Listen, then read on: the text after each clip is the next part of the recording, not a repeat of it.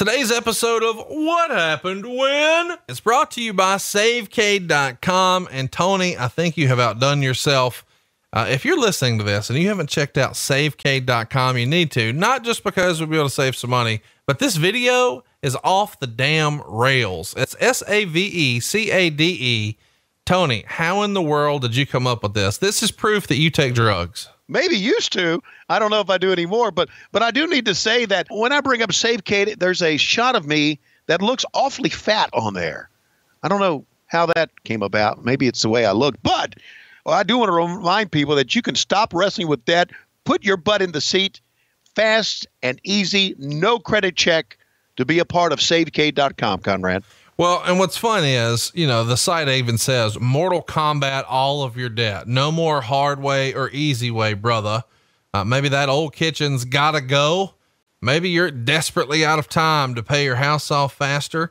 Well, we want to let you know that you don't need good luck looking credit. Your credit doesn't have to look as good as the Z Man did. And you can own a house with no money down, which is coincidentally how much money Evan Karagias drew. You can make this fast and easy. It can even be the greatest night in the history of our great sport when you skip your next two house payments. And maybe you could even lower your monthly payments, which probably would have been helpful when WCW was taken over by Bill Watts and he cut your pay, right, Tony? Yes. You can cut years off your loan, consolidate your debt, stop making the minimum payments. Believe you me, that will get you behind. And get a greater tax deduction, Conrad. It's all part of SaveCade.com. And what I love about it is you can own your own home with no money down. My favorite thing about the thing though is you fucking dancing and singing. I'm not making this up. Tony yeah. Schiavone dances and sings. You've got to see it, even if you don't actually need a home loan or need to save money. You've got to see Tony singing and dancing at savecade.com. That's S A V E C A D E NMLS number 65084, equal housing lender.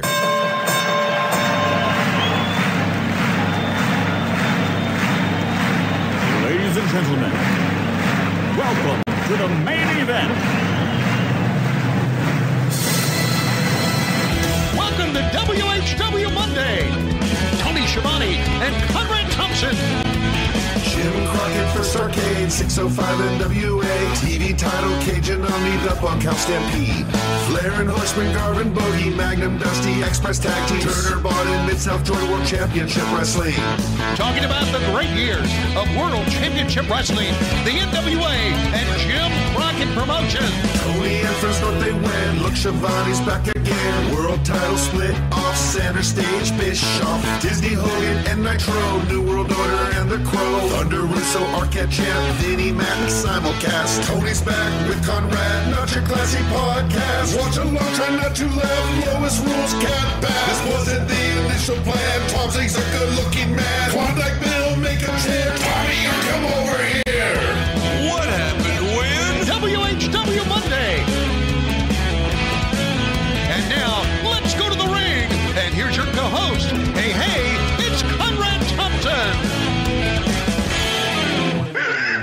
Hey, hey, it's Conrad Thompson, and you're listening to What Happened When Monday on the MLW Radio Network. Or maybe it's Wednesday if you're not with us on Patreon. Either way, though, the man who is with us every single week, the reason we're all here, Tony Schiavone. What's going on, man? How are you? Is this not exciting or what to be able to do this show?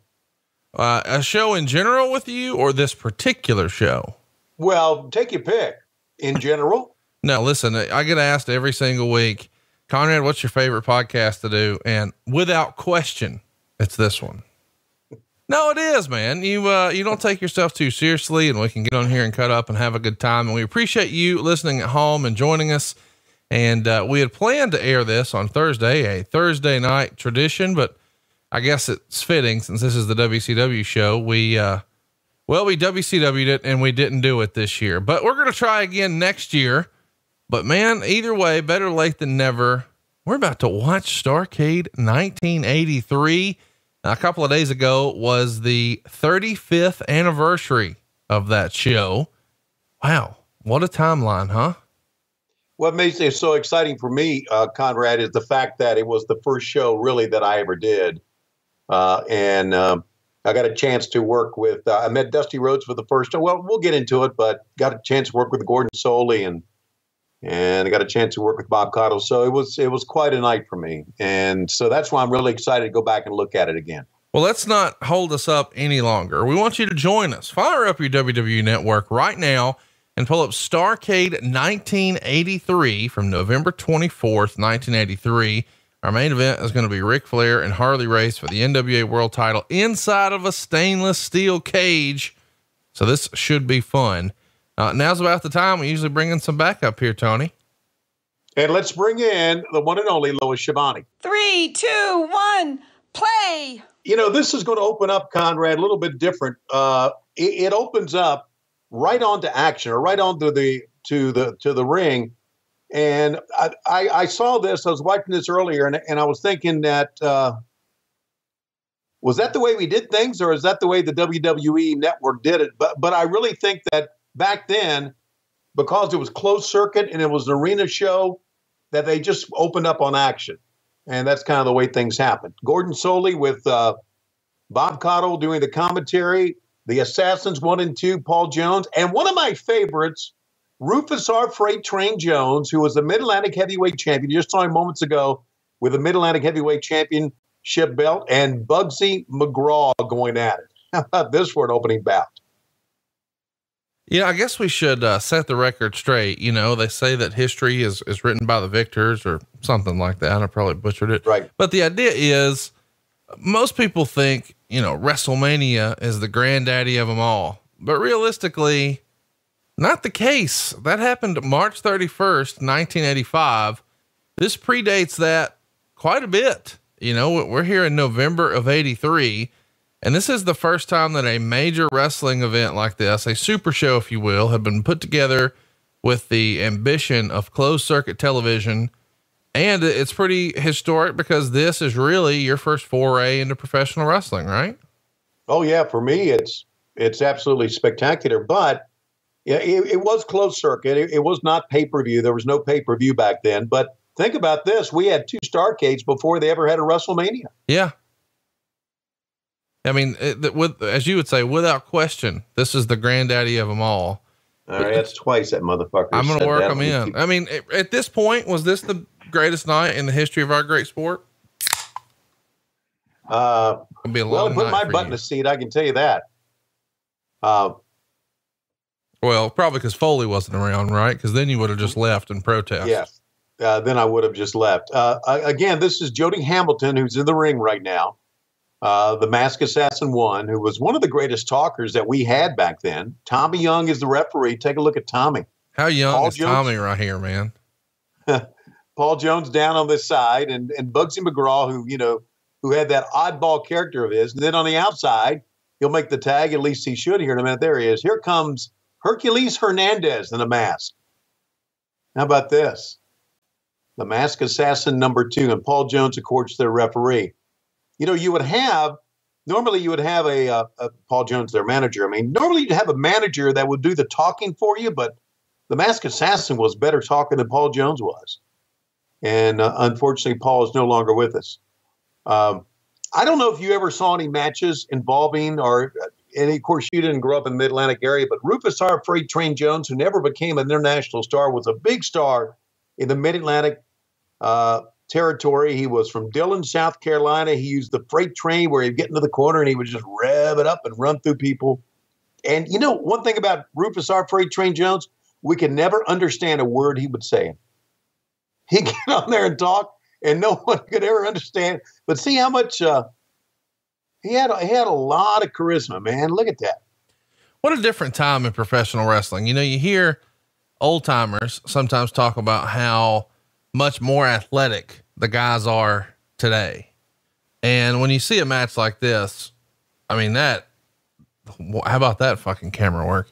There, there is, there is no doubt without question, as you would say, when you see the physiques of Bugsy and Rufus and not Hercules, but certainly Jody Hamilton, these guys are not, uh, they're not exactly Michael Phelps. No, and, and they wouldn't be people that you would that uh, Vince McMahon would employ either. Uh, obviously, because their uh, physiques. But uh, And of course, now Rufus got the old hard head gimmick, right? Hit him in the head, hurt his hand, headbutt on the shoulder, bring Bugsy back in. Uh, Bugsy was a very uh, odd personality. I guess he made most of his name, famous name, down in Florida. Uh, but um, now I'm in the backstage area right now, and I'm watching this. And I, I got there early in the day, and, Dusty Rhodes had a uh, had a, a meeting, and I had never met Dusty before. But here we started this meeting, and here was Dusty with a coat and tie on and everything. And I'm thinking, what in the fuck is Dusty Rhodes doing here? And then I come to find out this was his idea, uh, and uh, this was his, uh, I guess, his uh, test run, so to speak, uh, if he could book for the Crockett's. And so this began this began Dusty Rhodes' run as the, the booker for the Crockett territory back then. Hang on, you But- you didn't know why he was No, I didn't. Wow. I did not know. I guess you know that's worth mentioning because Dusty's not on the card. Well, why do you Right. think that was? Do you think Dusty was trying to transition at this point? No, I, I- just think, uh, I, I just think that uh, he had not worked an angle in the Mid Atlantic territory, and uh, maybe he wanted to show the Crockett's that he was all about booking and not about wrestling. Uh, we know that did not come to fruition. I mean, he was as much about wrestling and booking uh, down the road, but I just, uh, I, I- I just think that he wanted to show the Crockett's that he was a good guy to have behind the scenes, Sure. or maybe they didn't offer him any money. maybe they just said, "Come in, we'll see if you can book, but we're not going to let you wrestle because we're not going to pay anything." That'd be hard to imagine that you've got a star of the magnitude of Dusty Rhodes and he's in the building and you don't want to leverage it. Yeah, you know, you know, you're right. I, when you think about it, uh, uh, and, and Dusty, listen, Dusty wrestled at the Greensboro Coliseum many, many, many times prior to '83. I went and saw him wrestle a lot of times. I saw he and Ric Flair as a tag team uh, years and years ago, and then uh, when and Flair turned on him at the end of it. Man, Rufus, Rufus had some charisma, man. Boy, I miss him. I never got to meet Rufus. Ne- really, never got to meet him. Uh, I think this may have been like his swan song with Jim Crockett Promotions. I don't think uh, they had much to do with him after that. I, I think we've, uh, we've sort of buried the lead a little bit. A lot of our younger fans are going to know, uh, Jody Hamilton from his days with the power plant. And, you know, the, I think a lot of people who probably listen to the show and grew up maybe in the Nitro era are probably more familiar with his work behind the scenes for WCW instead of in front of the camera. Do you think that'll be his legacy? I don't think they're yet, without question. Thank you. I was hoping you could Yeah. work that in. I, I knew you would lead me into that. Yeah, I think it would be because Jody was, uh, you know, we, we called it, it, it, it's still called the gorilla position, but we called it the Jody position because he sat there uh, and, uh, you know, sent guys in and out during TV. And, and yeah, he, he ran the power plant. Paul Orndorff was there with him. You know, Sergeant Buddy Lee Parker was a part of it as well. And think about how many of uh, guys came out of the power plant that became big stars like Goldberg, one of your favorites. Well, I don't have a problem with Goldberg. I just, I just don't like him. Don't want, didn't enjoy his matches.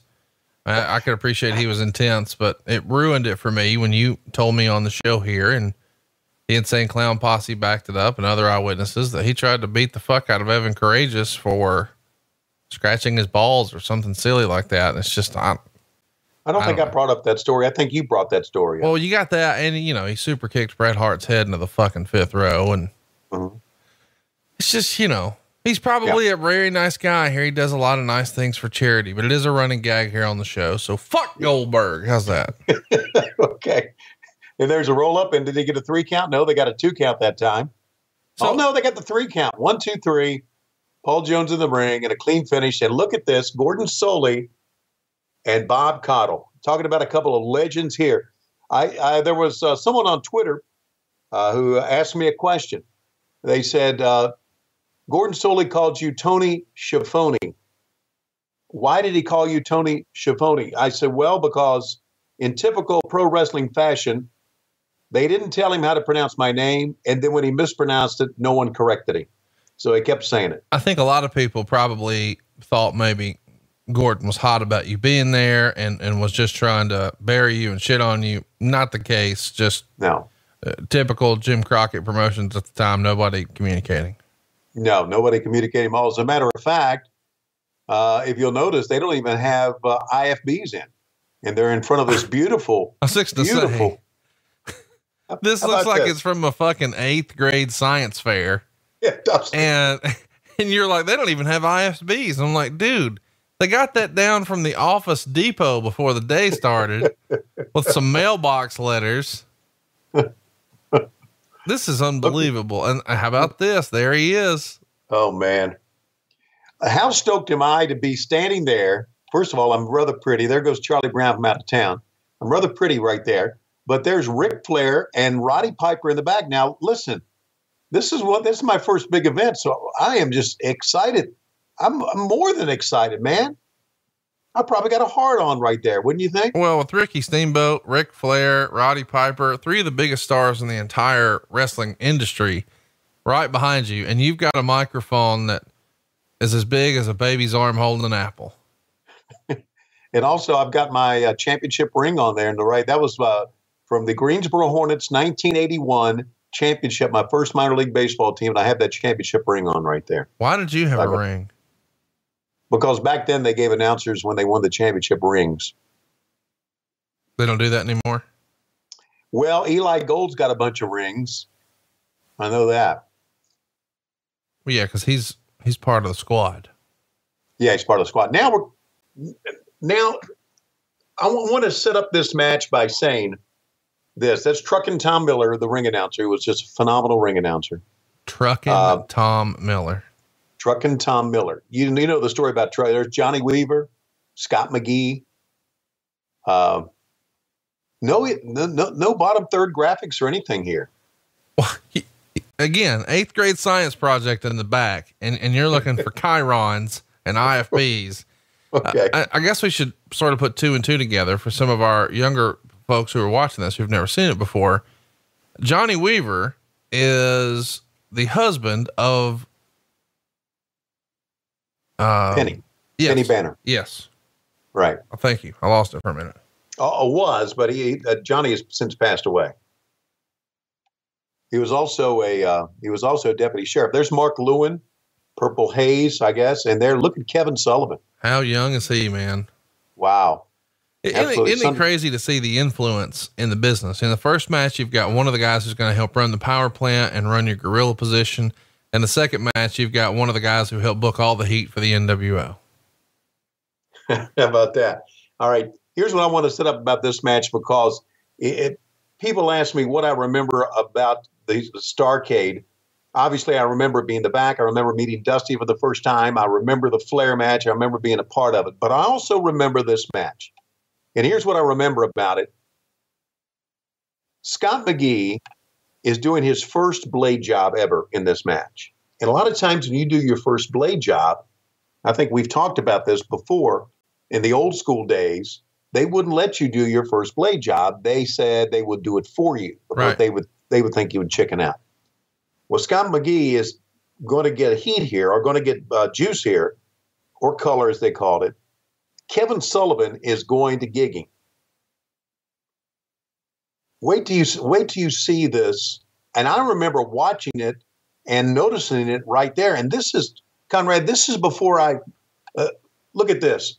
I've been in the business now maybe a month, and I didn't know about blade jobs. So I, I, but I saw it happen. I'm thinking, he just cut his head open. And wait till you see it. And then Scott McGhee's going to come back with me and Angelo Mosca, and he is going to be bleeding profusely, and it's going to really gross me out. So uh, when the, when they bring in the golden spike, which is their gimmick, that spike that they hit a buddy in the head with, you'll see Kevin Sullivan cutting. It's it's an incredible. It's something that, that stuck in my mind for a long, long time. You know, it's funny. Um, that came, Blades came up, I don't know, like a month ago at my house Mm-hmm. because Mrs. Thompson was never really shown how the sausage is made, so to speak, and just knew that every pillowcase at her dad's house had blood on it. you know, but didn't really know what was what. But then Right. one day, um, and apparently it was part of the the the champ's travel kit. Like it, he had a shave kit, and he kept everything in there. And uh, whenever he would come in, like the most critical things, you know, he had to have before he would leave out for the next tour, a robe, and the belt, and that shave kit. Couldn't leave without those. And um, one day, I guess one spilled out into the laundry room and he walked in there barefoot and got one caught in his foot and God. couldn't get it out and had to have help. So Mrs. Thompson's there to help and then is like, wait a minute. Why does dad have this that small and wrapped in tape? Wait a minute. And there was never like a conversation, but it just became, I got it. I understand why, why dad bleeds so much now. or or you know how it happened and Right.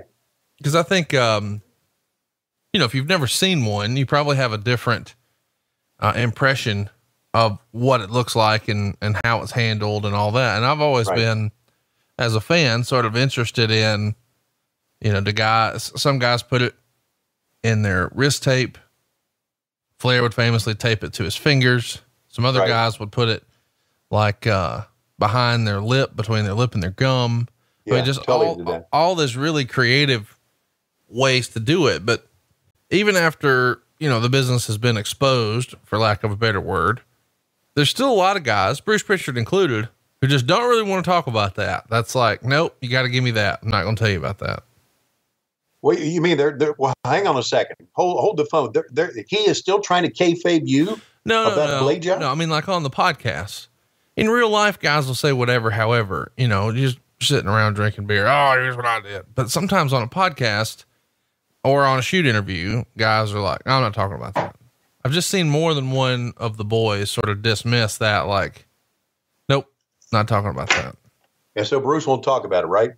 Not on the show. No, in real life, you know, whatever. Wow. But on the show, I, I, mean, he's always, and so I always have to like tiptoe around it on his show too. Like, you know, I, I try to use words like zip. Oh, he zipped himself because he doesn't want to blade. What are you talking about? Blade, that type of Oh thing. my God. Yeah. What's wrong with him? Then he he wouldn't be a good guy to watch this match with because this is a very obvious blade job here. Sonny Fargo, the referee here. Gary Hart, of course, Gary Hart was a great manager, and uh, I like Gary a lot. Gary uh, Gary was a pretty good sounding board for me and and, and uh, my work when I was uh, first starting out in the business. He helped me out a great deal. Always always gave me a lot of uh, pointers. He was a good guy to be around. Gary Hart was. How often does uh, Court Bauer reference Gary Hart when you're doing MLW with him? Uh, every 10 minutes. No, uh, he was Gary Hart's uh, protege, right? Yeah, I know he re- Court really, really looked up to Gary and and credits a lot of his sort of booking philosophy and the way he sort of thinks about the business with Gary. Right. Well, and it's uh, Gary was a again a, a very uh, a very good guy and a very uh, generous guy as far as his knowledge of the business and helping people out. And he was pretty funny too behind the scenes. Had a lot of time for Gary Hart. So I'm I'm trying to keep my eyes open here, see when they bring that. Uh, because I, I I know some of these matches, early matches, didn't go long. We saw the first one; they didn't go long. We're going to have a dog collar match. Uh, but I'm trying to just wait and see. Johnny Weaver, look. Speaking of blades, did you see the close up of his forehead right oh there? yeah, yeah. Like a roadmap, buddy. So- Hey, talk to me a little bit about the production that night. You know, just Okay. as, just as far as like the way it happened. You know, like this is as we've said before, it's it's before pay per view. right. So, what are you doing differently here than normal? Well, we, we've got a crew here. We've got like only like one ringside camera, I guess. We've got a uh, we got a couple of high cameras. We don't have a truck as of yet. If we got a truck, we just rented one. Now watch out here. Now see, here comes the. Take a look here. Here's the golden spike. Mark Lewin gets it, and here's the cut. Zip. See it right there. Yeah. Wow. So they opened up his. I mean, they didn't just you know just didn't touch him. And sometimes that's all they they would have to do, right? Just touch. Look at this. Yikes! I mean, they absolutely opened up his forehead, and, and when he comes back, and we're going to do an interview with him. When he comes back, we're going to see his forehead laid open. But but as far as the production is concerned, it was just kind of a kind of a skeleton crew production. We had we had a couple of hard cameras, one that could swing around and get that that uh, Office Depot uh, set that we had, uh, and we had uh, one guy in the back. And this is before this is before the Crockett's. The Crockett's bought. There's Angelo Mosca coming in. The Crockett's went on to buy a truck. You know, they bought their own video truck, but this is before they had their own video truck. Right before. Hmm. Everybody on their feet at this bloody scene. Yeah, look at this. So you say you don't want to do a blade job, huh, kid? Let Kevin Sullivan do it for you. I talked to Kevin about that uh, recently when he was up for MLW when he came up when we were up uh, in New York for MLW and he came up and I and, talked and to him about that. you mentioned this particular scene. Oh yeah, yeah. I, I said, Kevin, you remember when you uh, when you gigged him? I, he said, Oh yeah, I remember.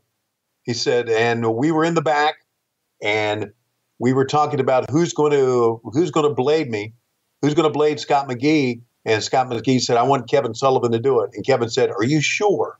He said, Yes, I want you to do it. Kevin said, All right, because he trusted Kevin. Oh, God. Can you imagine if uh, Chris Benoit asked Kevin Sullivan to blade him? mm. I can only imagine on that. About 1997, 1998. I don't know if that would have went well. I I would agree. It probably wouldn't have gone well at all. Gordon Solie right, here, man, and Bob Caudle. Are these the two greatest voices in the history of Mid Atlantic Wrestling? Not, I mean, I know you're not going to put yourself in there, so it's got to be these two, right? Well, yeah, Gordon Solie is the greatest voice in the history of Georgia Championship Wrestling and Florida Championship Wrestling, and Bob Caudle is in Mid Atlantic Championship Wrestling. Now I think they're going to go back to me. Uh, don't smile, guys. Go back to me. No, here's Barbara Cleary. How about Barbara Cleary? Does, do you remember who Barbara Cleary was? Nope, never seen her in my life.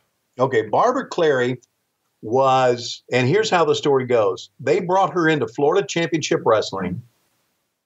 Uh, and I'm not so sure. I guess Eddie Graham brought her in. She credits that uh, Gordon Solie brought her in. She was a singer that could speak Spanish. They brought her into Florida Championship Wrestling to speak Spanish and help out with interviews in Spanish. So she was uh, she came up with Gordon and was in Florida Championship Wrestling. Look, me and the Briscoes, Greg Valentine, and would you take a look at Harley Race and that mustache and those sideburns?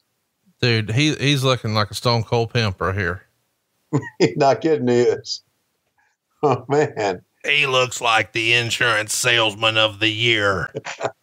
He's the greatest insurance salesman on God's green earth. Green earth I've got absolutely. your term life. I've got your whole life. I've got your accidental life. Don't get me started on that duck. Fuck the duck. You need Harley Races God's Green Insurance. Well, thank you, Harley. I'm getting ready to have another kid, and uh, we have one right now. I'm going to have one coming up at the first of the year. So thank you very much.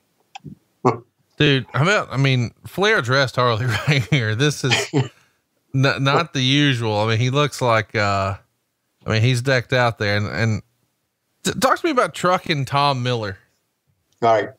Truckin' Tom Miller was a overnight disc jockey at WBT Radio in Charlotte and he talked to all the truckers out there. That's why they call him Truckin' Tom Miller. All the truckers would call him, they'd listen to his radio show, and he became quite a sensation. Would you take a look at the legendary Carlos Colon? He'll be going up against Abdullah the Butcher here. Dude, I uh, mean, this is, I mean, what are the odds there's going to be blood in Abdullah the Butcher versus Carlos Colon? there's going to be blood we brought Carlos Colon in. This was kind of like a uh, because he was down in Puerto Rico, and we wanted uh, Stu Schwartz, the referee. Gosh, I can remember all these names. Uh, but anyway, Truckin' Tom Miller problem. He had problems with alcohol, so he he drank himself out of a job, and then I got him a job. Boy, he's already went to the gimmick down these tights. Uh, I uh, went. Uh, I uh, had was working at a radio station in Charlotte, K ninety seven FM. I was doing morning sports, and I knew Truck and Tom was looking for a job. So I talked to the program director, and they got Truck and Tom a job. And again, they gave him the overnight shift on an FM station, and he again, Tom Miller again got a cult following. The truckers would follow him. They called. Everything was great. And the program director one night listened, and he heard nothing but dead air. And uh, so he got in his car, put the radio on, drove to the radio station, went up into the, uh, it was like at the top floor of this uh, office building. He went up there, and Truckin' Tom was passed out in his chair, drunk, and they fired him. Oh, man. Uh, so, so, but Truckin' was a talented guy and a great ring announcer. Could really say rock and roll express. We all loved him, a good guy. Just uh, alcohol got the best of him and that's a sad story. But look at look at uh, what's he got? Is he digging something down his face?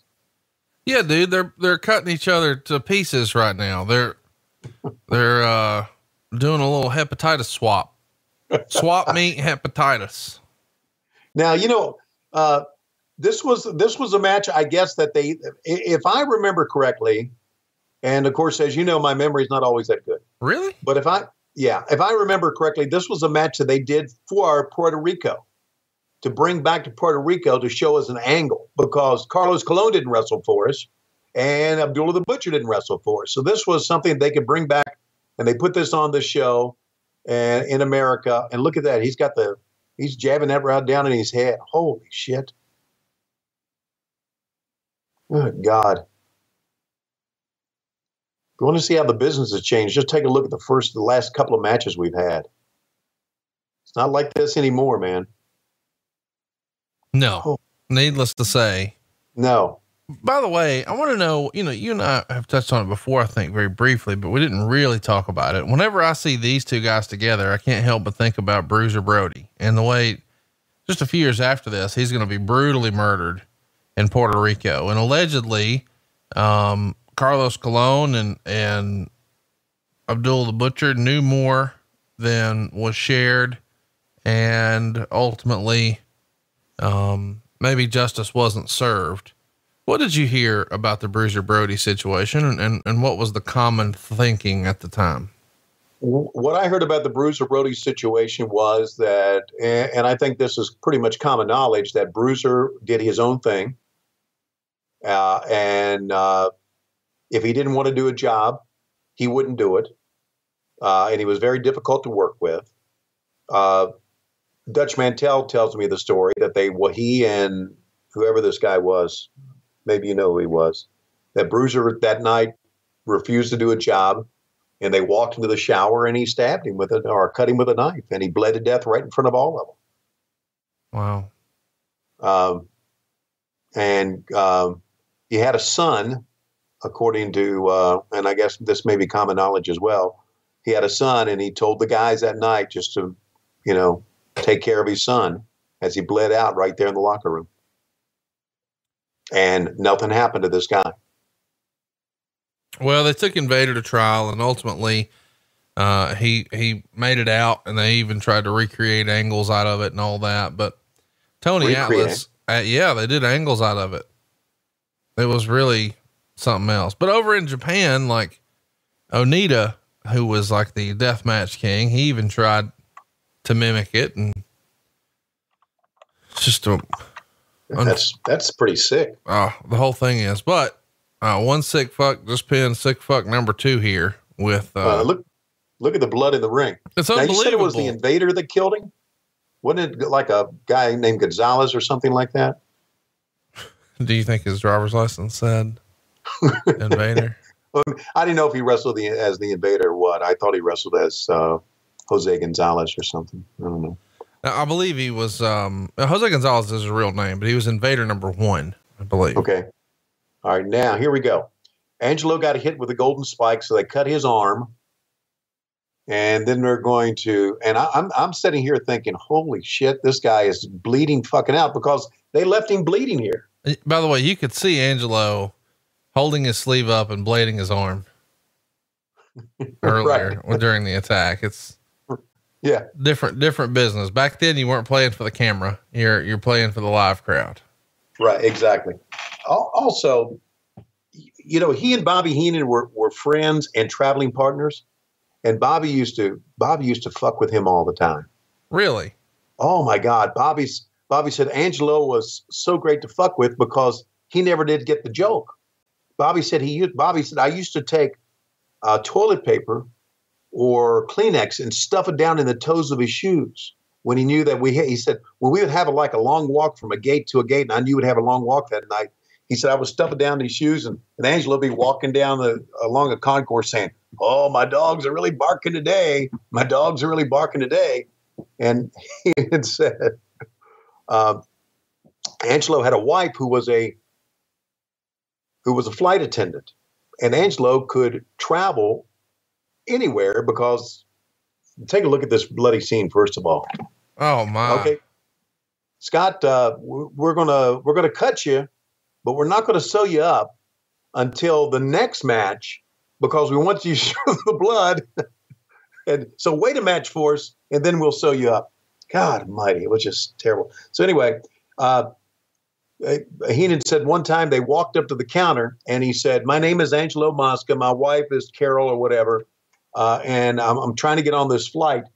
And he said, "I don't have my ID with me, and this is way back in the day. But my name is Angelo Mosca. My wife is Carol." And he Heenan heard this going on. Heenan walked up. He said, "Hey, Bill, you ready to go?"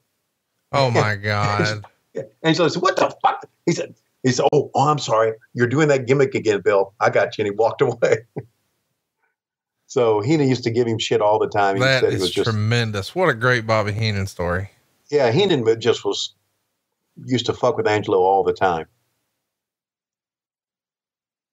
That's Barbara it. Clary went on to be- become a school teacher, I understand, in Florida. Oh boy. Man, what a different time in wrestling this is. Look at what's going on in the ring. Yes, sir. We got Dick the Ultimate Slater. Warrior on one side. No, sorry, that's Wahoo McDaniel. Jay Youngblood and uh, Cowboy Bob Orton and Dick Slater on the other side. By the Some way, legendary performers in this one, man. Bob Orton, not only on the first WrestleMania, but here, Starrcade as well. We had a graphic. Did you see that? I did. The graphic flew in. It's like, okay, let's try one out for the third match, guys. You think you get one ready for the third match? Well, here it comes, fly it in and fly. How about that, man? They were probably giving each, oh, we're going to fly in another one here. Some silly looking shit here, Conrad. Without question. It. Looks like a Houston Astros uniform. Okay, so we can get off the graphic now. Three, two, one, fade back. Jackie Crockett running the camera at ringside. And Truckin' Tom Miller, man. And of course, everything was kind of just, you know, they really didn't have that many angles leading up to it, with the exception of Roddy Piper and Greg Valentine and and Flair and uh, Harley. and Harley. And leading up to this, uh, Harley would send the guys in to try to attack Ric Flair on Mid Atlantic Championship Wrestling to prevent Flair from getting to this to this match. So that was the angle leading up to it. Are you at your most excited uh, as far as to work in wrestling right now at this show? Oh yeah, yeah. I, I'm going to be honest with you. I don't even know if I got paid to do this thing. I really don't remember it. I remember getting. I remember getting paid to do the. Uh, they they put a little bit extra in my uh, baseball paycheck to do the uh, interviews. Uh, and I know they paid me extra to do the TBS shows. And this, of course, TBS shows would be a year and a half later, or a little bit over a year later. But as far as this show is concerned, I was just glad to be there, man. I was on freaking cloud nine. I mean, we're talking about a venue on a day that I used to go and pay to be front row. I was I was front row ringside in 1977, Thanksgiving Day in Greensboro for a double ring battle royal. Paid for front row ringside tickets. And now here I am three years later, four years later. Shit. Absolutely. Most excited I've ever been. Slater. Uh, Slater, bless his heart, was a pretty good performer. Got any good Wahoo stories? We haven't talked about Wahoo a ton here on the show. Well, I told you that I've told you the story of the, the night he hit the lady, right? I think so, but t- tell it for everybody listening who maybe missed the old Okay. episode. All right, uh, here's the story. Wa- This was Wahoo and uh, Magnum TA ended up, I think, being on uh, Worldwide Wrestling or Mid Atlantic Championship Wrestling, Charlotte Coliseum. It's where Magnum TA won the U.S. title from Wahoo. Wahoo was a heel. Wahoo picks up a steel chair. The finish is in a steel cage, picks up a steel chair. Magnum drop kicks the steel chair. Wahoo hits himself. Check a look. Wow. How about this camera shot? I love that. I do too. I, I, I, don't saw even- I saw it in the main. this shot. I saw it in the main event, but I don't remember seeing it here early. But I think this uh, this is an angle that should be used more often. Yeah, I agree. So so Wahoo picks up the chair. He gets Magnum drop kicks the chair, it's an old steel chair with the old uh, uh, sharp corners on it, and it hits Wahoo in the head, and it cuts him, and that, I mean really cuts him open. So we're in the back. Wahoo comes in the back uh, after they get him out of the ring. He walks in the back. I never will forget. As he walked through the door, he passed out, and they said, "We got to get him to the doctor." So they got him to the doctor, to the hospital, uh, the emergency room, and they said, Who can pick him up? And I said, I'll pick him up because Wahoo and I live close to each other. So I went to the emergency room because he went ahead and I picked him up. And Wahoo said, Before you take me home, let's stop and get a drink. And we stopped at Bennigan's, which was near the South Park Mall in Charlotte, which was on our way down that way. And Wahoo was all, you know, all sutured up and was throwing it back one at a time. And I say, you know, I, I, I can't hang with you here, dude. Uh, and uh, he said, okay. And he was at the bar and he had been a big baby face even back at this time. He had been a big baby face and now he was a shit heel and everybody was mad at him. And a woman got on his ass for turning his back on all his fans. And he had had enough of her and he turned around and knocked her off the bar stool. Cops were called and i said uh, i gotta go. Wahoo said i'll be fine. And uh, uh, so again the moral of the story is when wahoo's drunk it doesn't matter who you are leaving the fuck alone. Because he was a you know wahoo was a legitimately tough guy you know i mean there's there's a lot of guys who in the it was in the profession back in the day who really weren't but wahoo really was a badass. Uh, there's a badass in the ring right now. Uh, Randy Orton's dad. We don't talk Right. about that a lot here on the show. You got any old Orton stories you can share with us? I do not because I didn't I didn't know him at all. This is the only time I ever worked with him. So I, I don't know that much about him. I know his son's a damn good performer though. What about uh, Dick Slater? Uh, Dick was a good guy, but D- Dick always came across to me, and I may be wrong here. He always came across to me the guy who had been smoking a lot of dope. He just he was always smiling, always had the squinty eyes. How you doing? It just always seemed like he was high to me. May not have been, but uh, he was a pretty laid back guy. Maybe he did smoke dope. I don't know. I'm sure a bunch of them did. Why are you saying smoke dope? because back then you would smoke dope. I know you can now you can eat it, but back then you would smoke it. It's what I was told. I don't know what's going on with you. you trying to start some shit with me is what you're trying to do. No, just the, the phrase smoke dope sounds like something Barbara Bush would say. So so enlighten me here, millennial. What's the proper term for it? Uh, smoking weed, using marijuana. Smoking weed. I mean, you know, but smoke dope. I mean, it sounds like he's over here with a pipe and lighting up crack or, Could have been. I mean, no, it couldn't have been.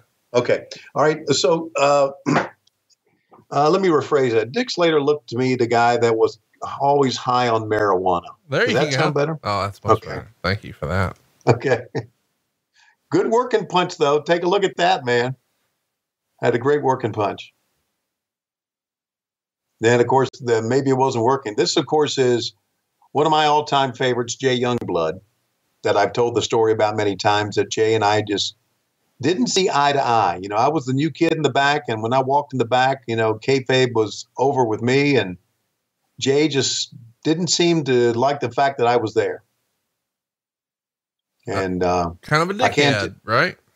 what's that? Kind of a dickhead, right? Yeah, he was a big dickhead to me. Uh, and he was the only, he's really the only wrestler I can say when they asked me any wrestler I didn't like. I said, well, it's got to be Jay Youngblood because he wasn't good to me at all. So uh, I don't mind them beating the fuck out of him right now. I'm, I'm really enjoying it. Makes me happy that you took it to heart that mu- that much. Yeah, I did. I did because everybody was nice to me. I was part of the team. You know, why be a prick to me? And real, realistically, if you go back and you take a look at the history, who was the big star? It was Ricky Steamboat. It wasn't Jay Youngblood. Or was this Mark Youngblood at this time? Well, either way, you're happy he's getting his ass beat. yes, I am. I, I uh, Jay may have uh, wrestled. Uh, uh, But this With is this is Ricky- this is Mark Youngblood. This you're, is Mark. Okay, You're thinking Yeah. of Jay, but he's going to team with Ricky against the Briscoes a little later. right because they were uh, they were a, a, a pretty good tag team back then, and Ricky was always the better one of the two. I didn't want to stop you when you're on a roll shitting on somebody. It's fun. Yeah, okay, thank you. Mark was pretty cool, but you know they were uh, they were really the Romero brothers from Raleigh, North Carolina. By the way, did you see that um, Jeff Jones put together a somebody say something about lasagna t-shirt over at I sure. I sure did. It looks just like the old uh, FBI shirts that Tommy Rich wore in ECW, but now it says instead of FBI, WHW, and then somebody say something about lasagna, which is just tremendous. Absolutely. Uh, also, I think it'd be a good time, speaking of Jeff Jones, for us to talk about because coming up this weekend, as this show is being taped, you and I are going to be in Atlanta live. How about that, man? I'm looking forward to it. I can't wait. We're going to be at the Laughing Skull Lounge on Peachtree in Midtown there. Uh, we've got uh, VIPs coming, I know, and we're going to uh, meet them and greet the VIPs as always. And uh, then we're going to have a little bit of fun. We had, we had, you know, Conrad, thank you so much for everything. But man, did I have a great time in Charlotte. And I hope we're going to have the same kind of time in Atlanta too. What happened when live.com is where you can get your tickets. Only a handful remain. Unfortunately, VIP is totally sold out, but you can still get some general admission tickets. Tony and I are going to be there because Alabama is going to destroy the Georgia Bulldogs on Saturday. And then hmm. on Sunday, we'll be there hanging out, taking pictures, telling jokes, making you laugh at the Laughing Skull Lounge. So, uh, stop what you're doing, cruise on over, check it out. What happened when live.com and pick those up. three o'clock in the afternoon. And listen, I, I do understand. I, I know you're a businessman. I get it. And you knew a lot of people would be in Atlanta that weekend because of the SEC championship, but you also want to do it so that you thinking Alabama's going to win uh, can stick it up my ass for two hours, which is what you'll do. Without question. Thank you for saying that.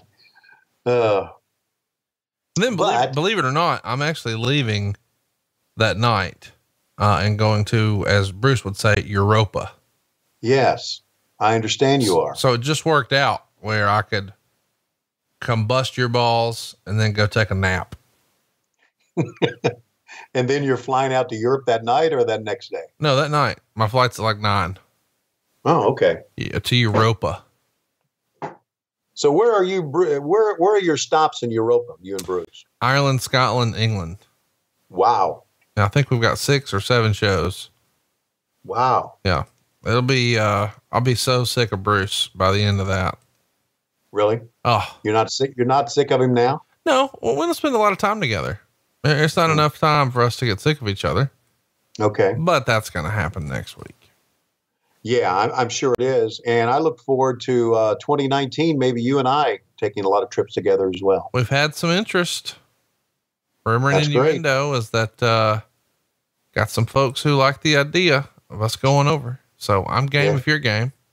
Yeah, I'm game too, man. I want to. Uh, I want to go. I want to uh, you know, again, the the uh, the event in Charlotte was uh, kind of our, our starting point. Uh, we're going to go on the 16th of December to Nashville at Zanies. But this weekend, we're going to be in uh, Atlanta, and hopefully, it's the beginning of a real great year for us in 2019. You know, this is pretty fundamentally a pretty good sound match that we're watching. And, and I say that the heels have gotten the heat on Mark Youngblood. He made the hot tag to Wahoo. They're getting the heat back on Wahoo and I'm sure there'll be some sort of four way into a finish. But uh, this is this is a good match. This this is a fundamentally a sound match, and some guys who can really perform missed that move though.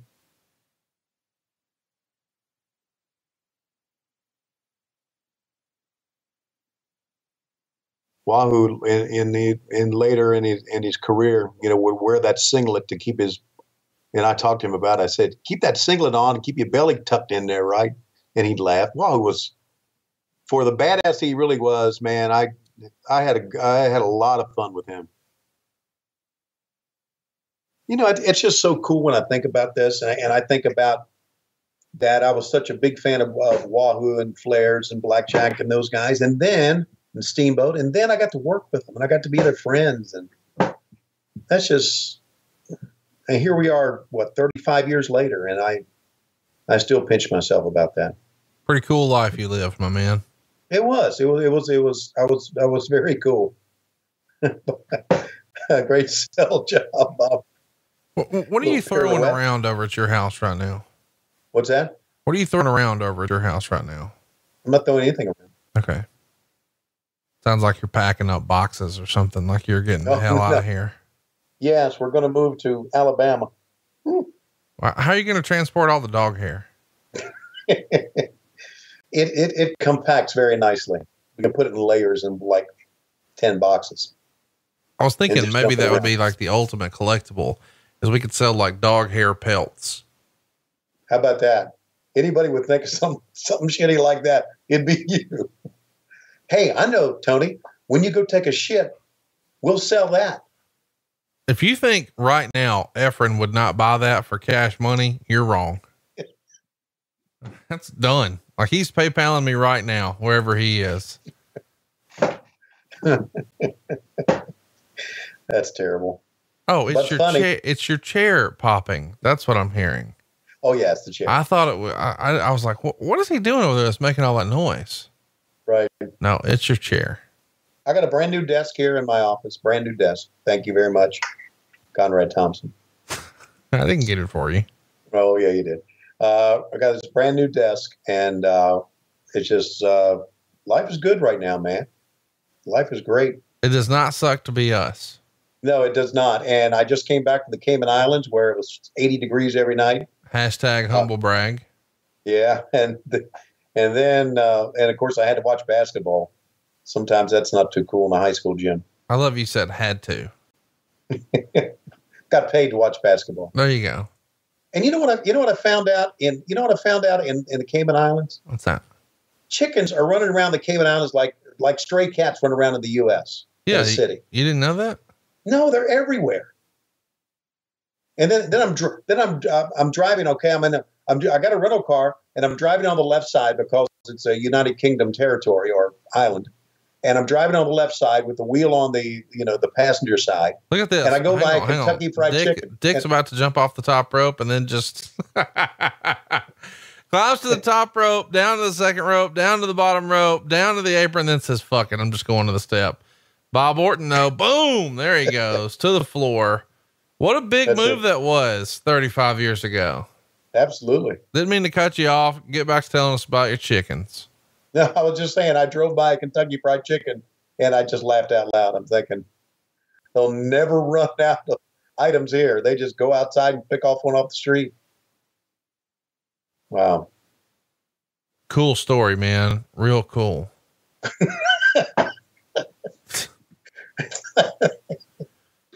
Thank you. I mean, they just broke Wahoo McDaniel's fucking arm, but you had to tell us about seeing KFC. KFC at the Cayman Islands. That's right. I wonder if they got beer in cans there. Yes, they do. Can I just tell you that I think we have we've gotten over Jimmy Hart's famous bar and Tiki Deck more than he ever has. I'm sure we've done a great deal. Look, look at the Nature Boy, would you? Pop, pop. Yeah. Notice how, yeah, I see uh, Rick. I see you just sitting here. I see Ricky Steamboat, and who's that piece of shit in the middle? Oh, it's Jay Youngblood. Look at them dark eyebrows, man.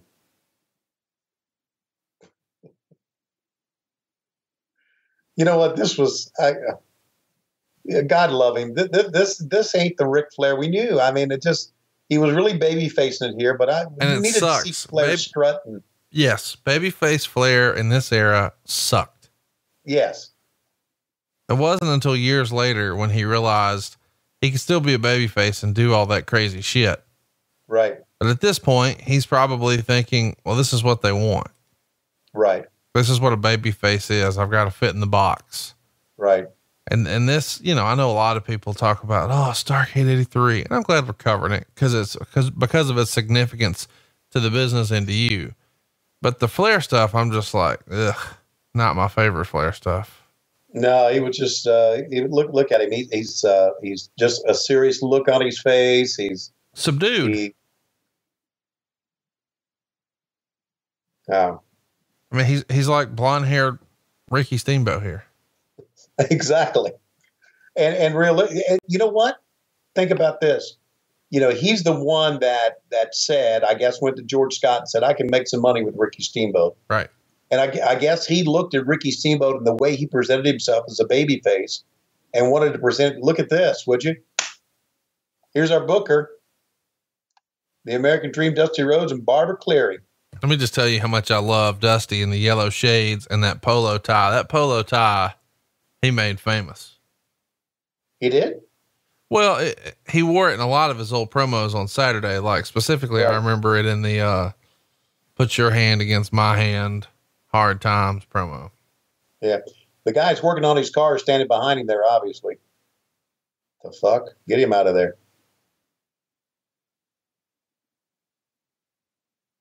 Two times heavyweight champion of the world. Yeah. And of course, now, you know, he's, he's, he's setting up he and Rick. Oh, we got a, how about that? We got a bottom third here. By the way, Uh, everything he said in the promo right there uh, was not clear at home because you guys had audio problems. Surprise. Well, again, uh, again, uh, we had audio problems because we, we were we were going too fast, Right. Going way too fast for what we, what we could do. And uh, but you know, again, it wasn't hard to sell out the Charlotte Col- I'm, I'm sorry, the Greensboro Coliseum on Thanksgiving Day. You think uh, your boy Bruce Mitchell was there? I'm sure he was. I, I I saw one of the guys walk behind Dusty right there that I recognize. I'm sure Bruce was. Now this is for what? What do you mean it's Hmm. for what? It's the NWA Television Championship. It's title versus mask. It's Charlie Brown versus the Great Kabuki. How about how would you describe the Kabuki outfit here? Uh, he kind of looked like a a. It kind of looked like a, a celebratory ninja here. How would you describe it, Conrad? Very Kabuki-ish. Look at that. Is that Lois? yeah. No, it's not. Hey, I She's sent, taller. She's taller than that. I wanted to get your opinion. I sent you a mock-up of a T-shirt I want to sell. I saw that. And what do you think? It ain't gonna fly. It was funny though. It was funny. I didn't even. I did not even show it to her. well, I got I got to have a way to get that phrase over, and we'll, we'll use the phrase on a different. Okay. L- look, we can use the phrase, all right, and we can use the, her face. Just got to fix some you other bet- stuff. Yeah, you, uh, you better get a much skinnier person on the on the bike than that. That's what makes it funny. I, I okay, then use somebody's face because she would immediately say, "I don't. I'm not that big. I, I've lost a lot of weight." Well, that, I would that's, say- that's not even her. That doesn't matter. I'm just, yeah. Okay. Uh, It made me laugh out loud. Well, yeah. So here's the deal. Behind the scenes, I sent Tony a mock up of a shirt of Lois, well, actually Lois's face, pasted Right. on another woman's body, pasted on a motorcycle, Right. and it had the phrase below it, Tony hit him. Uh, Cooter Mama, was that it? Cooter Scooter. Cooters. Cooter Scooter. Okay. I knew it was Cooter something. I just thought Cooter Scooter was hilarious. I thought this would be tremendous. It was. Without question. And now It you're telling me can't do it. But yeah, but but the, the lady was the lady on the Cooter scooter was rather rotund and she ain't gonna go for that. So All right. So can we put, um, why don't we do Medusa's body with Lois's Yeah. head yeah, and we'll, we'll, we'll still put Cooter Scooter on there. sold. You think she'll go for that? Sure she will. Okay. It's done. and that's gonna be a new t shirt at loisrules.com, Yeah. Or boxofgimmicks.com. One of those. Yeah. boxgimmicks.com or something like that. You know, uh, event had we used the big woman, the website would have been loiskills.com because that would have happened to me. I mean, would Lois have even known unless it was on Facebook? No, you're right. Uh, maybe Yeah, if exactly. old slapdick Matt Schiavone shows up at Christmas wearing a Cooter Scooter shirt. Well, Maybe. slapdick Matt Schiavone's over here to my right shoulder. I, I'm aware. You told me. Okay. Can I just tell you that uh I feel like Kabuki and like right now, like I want to lay down just watching this show. That's about all you're going to get out of uh, Charlie Brown down, from downtown. Because with uh, with Charlie Brown and with Jimmy Valiant, pretty much it was the entrance, and that was about it. You know, he's still performing. Have we talked about this before? Yeah, he is, Daddy. Still performing, That's right, Daddy. and he's like he's like ninety pounds. That's right, I mean, he's. I mean, how old? Listen, Jimmy Valiant's in his seventies, What's the problem, and Daddy? and he's still performing. What What's he supposed to do? Well, I mean, there's got to be a time when you you said, "I'm not going to go to the ring anymore." Oh, so there's a time where you say, uh, "I I don't need I don't need to feed myself or pay utilities." Well, you know, no, no, dumbass. Not I didn't say that at all. I said that the deal is you can make a living without bumping. or Okay, well, well, maybe well- it doesn't bump. What, what, what, are your uh, what are your job opportunities you've got lined up for Mister Valiant? Was he at WrestleCade? I don't know if he was or wasn't, but you're apparently going to tell him how, what he can and can't do to make money. So I just thought you I'm had some not. gigs lined not. up. So how was WrestleCade, by the way? Did you have a good time? I don't know. You don't know? I did my show with Bruce after WrestleCade, but I, I mean, I oh, you didn't go to WrestleCade. I, I wasn't able to attend the matches or the actual convention, Okay. but it looked like a tremendous success. Uh, maybe I don't know how long they've been doing this thing, five years running or more, and I think uh, the promoter, Mr. Tracy Myers, he's going to be doing it again big next year, if I had to guess. And of course, you won't be there. No, because I've got Georgia and Georgia Tech. By the way, uh, that didn't work out for Georgia Tech this weekend, did it? Now, I could after the first uh, series when Georgia went down and scored, I knew it wasn't going to work out for them. It didn't work out too well for Auburn this weekend, did it? Nope. Got it broke off in them Well, boy, did they ever! Holy shit! without question. Holy shit! Notice how these two guys have not done much of anything here. Dude, this is the worst wrestling show we've reviewed. No, it's not. It's up there with Starrcade 91. I don't. I'm not so sure about that. It's, it's real bad. Let me just tell you. Okay, but but still, I mean, the green mist all over his hands, uh, sleeper hold. Now the claw that you know, claw can be very deadly at times. No, but it here it's It's awful. It's just awful. oh back body drop. Here he goes, another one. He's got to hit him with his elbow. Another one. Oh, and just lay down. How about that world television title? I mean that that belt. Is it still around? Does somebody own that belt? Yeah. Believe it or not, I think, uh, Dave Millican found it a couple of years ago. That's so old I didn't even remember it, man. I, I remember the one after that, but not that one. I don't remember. I don't know why, but you saying that's so old I don't even remember it makes me happy. I like the Mid Atlantic TIA, the Mid Atlantic Championship that we saw in Rufus R. Freight Train Jones. I always liked that one. You know what happened to that one, don't you? Nope. Buzz Tyler got mad at Gene Anderson one day during interviews uh, and came in to do one interview for Kansas City, and Gene wouldn't let him do it till everybody got finished. And right at the end of the day, Buzz says, I've been here all day. I've been very patient, and you won't let me do my one interview. Fuck you, I'm leaving. He left and took the Mid Atlantic belt with him. We never saw him again. And he's probably still has Avalanche Buzz Tyler. Good to know. Yeah. Throwing him in my machine right now. Buzz Tyler. I want to get that belt. I'm sure he still got it if he's still alive. I was just Maybe it's in his attic. Maybe he's got a lot of dogs. Maybe he's got dog hair in his attic too. Well, then I'll never fucking see it. You never know, man. That thing could appear at any time. No, it's not. Oh yeah, it could. Yeah, look at Charlie Brown. Is he the best kisser in wrestling that you know of? Yes, that I that I'm familiar with. Yes, he is.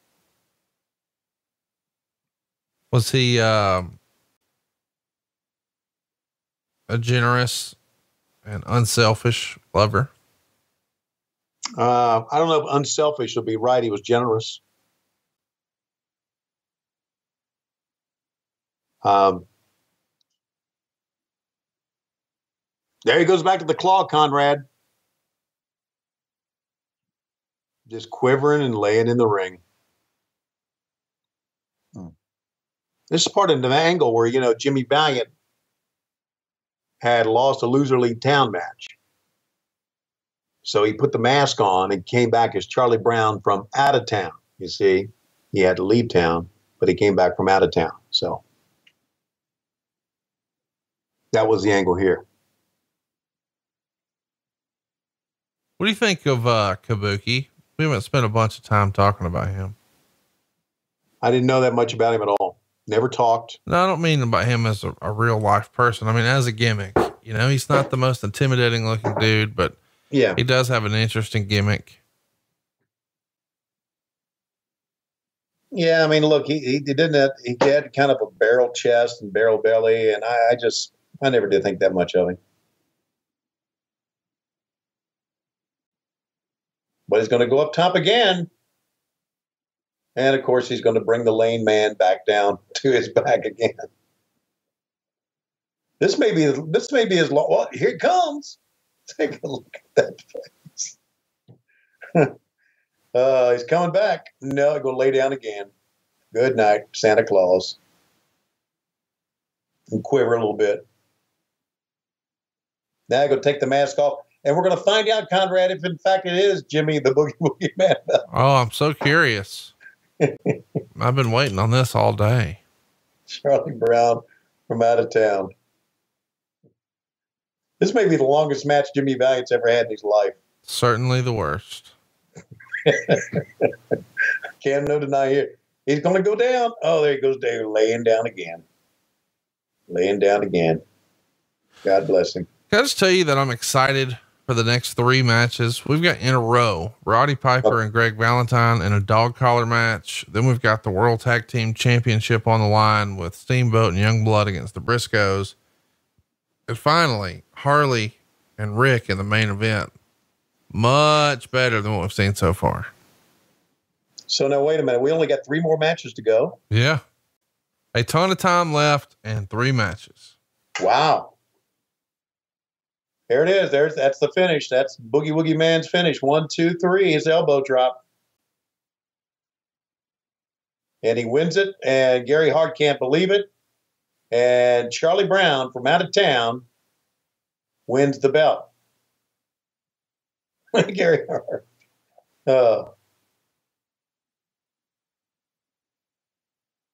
bring back some great memories.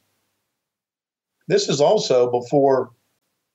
Think about this. Well, let's go back to the the Office Depot set now.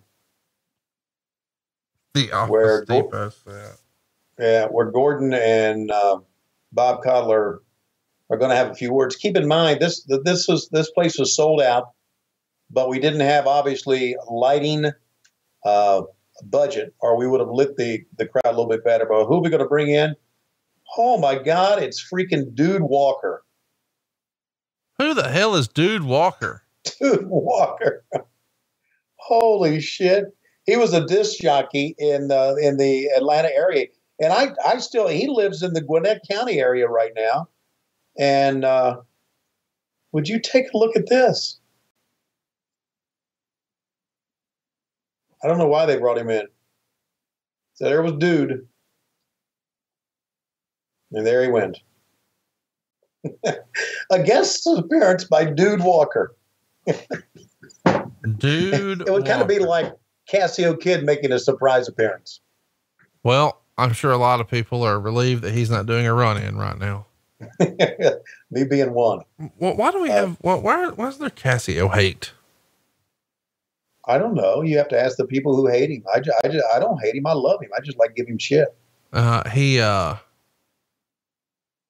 he lost a family member this last week. Oh, I'm sorry. I know. Prayers for Cassio. Okay. Well, you know what? In the morning, I'm going to send him a text. Tell him I'm sorry. Wouldn't send it right now. Probably wake his ass up. Nope. He might get up He's- early. He's, he's, he's awake. He is? Yeah. Doesn't he have to get up early to do his morning show? Uh, it doesn't matter. Wow, Gordon and and, and uh, Bob Caudle are going on and on and on here. Without question. But you know what? You, you you being a collector, even though as shitty as that thing would look, I'd that love to have what- it. I would love to have it. And me and you would do promos in front of it in our live shows. Wow. Go back to me. God, I was handsome. So now, No, you. This is- you you oh, look yeah. like you're the president of the science club right here. well, I'm, I'm here talking to uh, Harley Race, and Harley, uh, we're getting ready to have another kid. I've checked with Lois, and we don't want to buy any more insurance. See that what they're doing here now is Harley is telling uh, Ric Flair that he's got friends like Bob Orton, like Dick Slater, that will make sure that he leaves Greensboro with the belt, even though it was a cage match to keep guys like this out. I never did understand that. That's the way it is.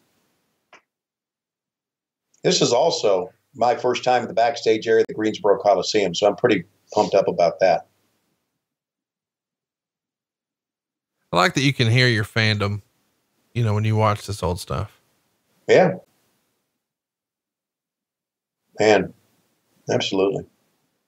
I've got, uh, I, as a matter of fact, I ran, I, ran across a stack of pictures that I took outside of the Greensboro Coliseum probably three years before this.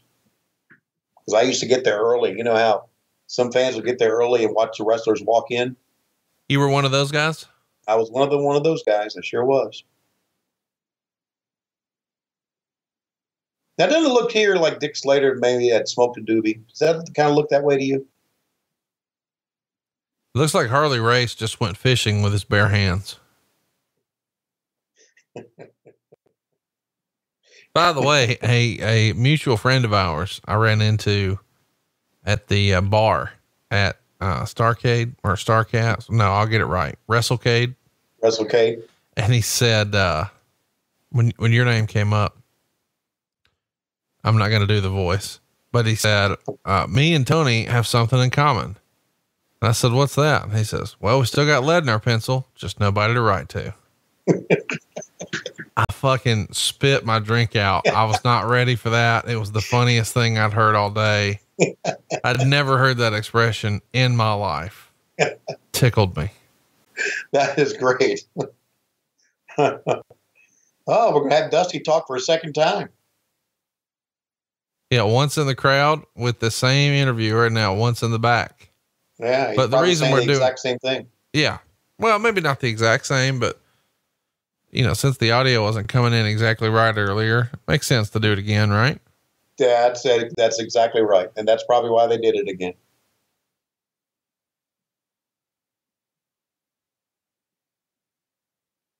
Wow, sure do miss Dusty. He's the best man. Yeah. There's nobody like him. Did you uh, ever have a conversation with Dusty just about, you know, the significance of Starrcade?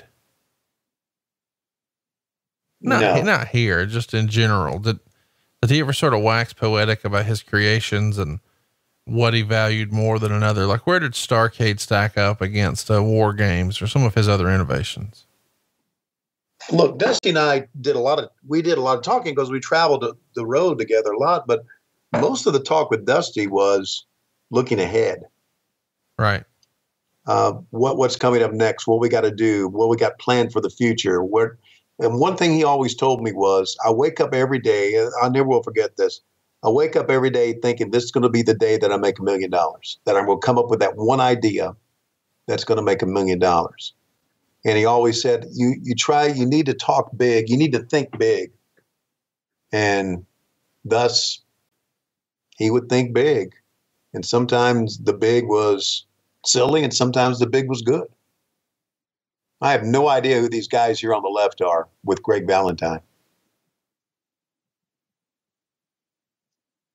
Unless that might be Gary Royal. I don't know. Valentine was the U.S. heavyweight champion. Here comes another graphic. They're breaking out some graphics now. Yes. Here's a story about a man named Roddy.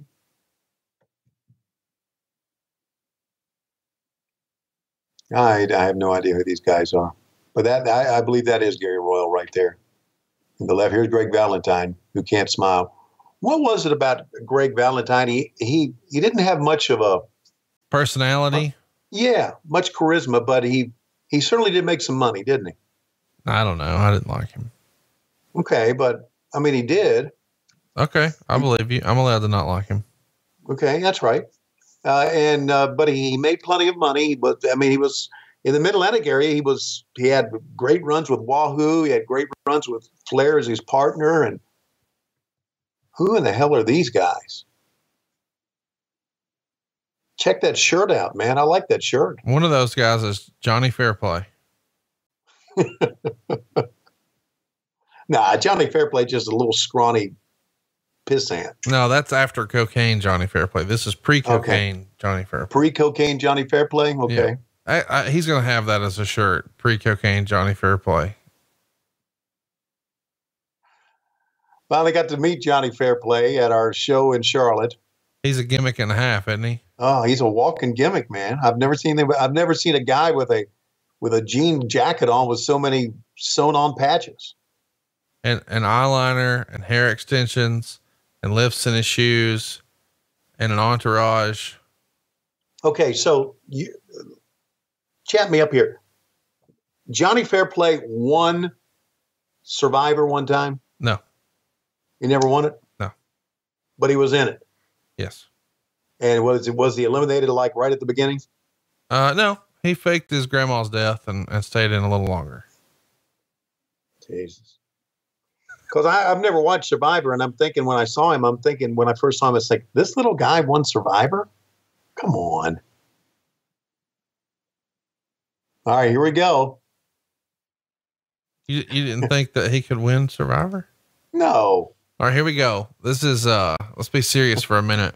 All right, we're serious. Maybe the most important match of the first Starrcade. Why do you consider this an important match? Well, it's a dog collar match. Can you name a more famous dog collar match than this one? No. No, you're right. And this was wasn't this uh, basically Piper's swan song? Well, it's interesting to me that you see Piper in such a big rivalry, a heated feud here, and such an important match on the first Starrcade. Really, one of the building blocks of this entire show. And then he's going to be in the main event of the first WrestleMania. People sort of sleep on the significance of Roddy Piper, I think. Yeah, Piper, you know, Piper was. You may know, you may know this. Uh, I, I've heard the story that, you know, Piper was, you know, he he wrestled many many different territories, and he he was down in Georgia for a while, and he was Gordon Solie's color man. Do you remember that? Yep. And didn't they enjoy some of their best ratings with Roddy Piper serving as a color guy? Yeah, Piper popped the territory everywhere he went, as they say. Right. Had a great in the just uh, probably two years before this, I would think, maybe three years, but in the Mid Atlantic Territory, he and Flair had a big run against each other for the U.S. Heavyweight Championship, and now look at him slugging it out. And look at all the blood is already on the ring, Conrad. This is from the previous matches, and they're just going to add more blood to this, man.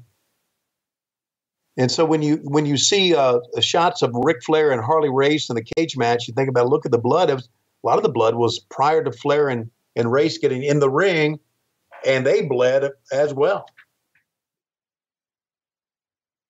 Piper, by the way, uh, kept that dog collar with him everywhere. He had a Halliburton case, and he would bring that dog collar in the Halliburton case to the backstage area uh, at the Crockett uh, headquarters and do the uh, and do his interviews with that dog collar. So that was his to keep everywhere. It was kind of like his belt.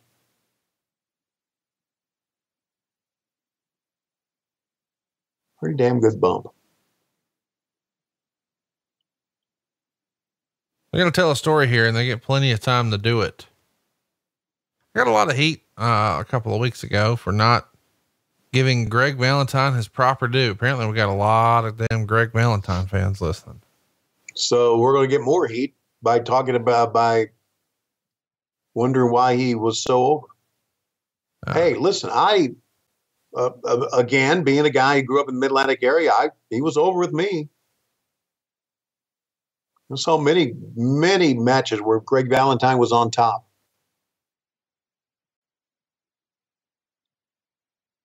And of course, there was a story. You know, look at this, man. How do you work this? How do you work pulling a pulling a chain taut across a guy's bridge of his nose and his eyes? Holy shit, man! Of course, his elbow was his, you know, primary weapon. And I think we talked about this earlier. There was uh, in probably a previous show there was an ad. There was a we. He came across as look at this man, God Almighty. He came across as the storyline was he was the brother of Johnny Valentine. And Wahoo exposed it on an angle that he was actually the son of Johnny Valentine. So I don't know which was which but that was an angle in the, in the Mid Atlantic Territory one time. I wish I could be more into this.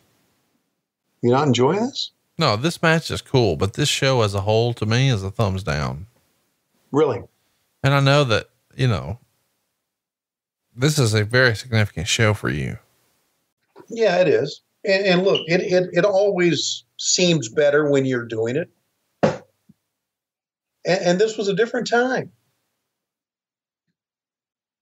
had you had you watched had we been watching this and watching the replay of this let's say two years later we would have looked back on this saying we'd have watched this let's this replay in 85 we would have gone back and said man this was great but think about all, all that we've been exposed to in the 35 years how wrestling has changed right so yeah it, it's all what you've been exposed to i mean it's the rules of wrestling although they're supposed to be different are supposed to be the same or different. Now, Greg Valentine is bleeding profusely here. Look at this.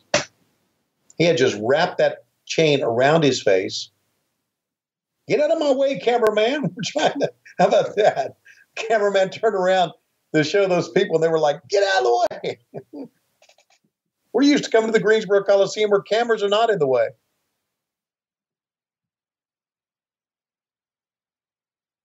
They knew how to. They knew how to work this dog collar match, man. Look at that. wow. I don't know how to work it. Yeah. That much. I mean, yeah, it's, it's probably not, it's probably more shooting anything else. Yeah. I mean, apparently Piper's going to bust an eardrum here and he's going to suffer hearing damage for the rest of his life because of this match. Yeah. And you really just can't, you can't really, uh, probably pick one moment where you say, "Oh, that was a blow that suffered ear damage."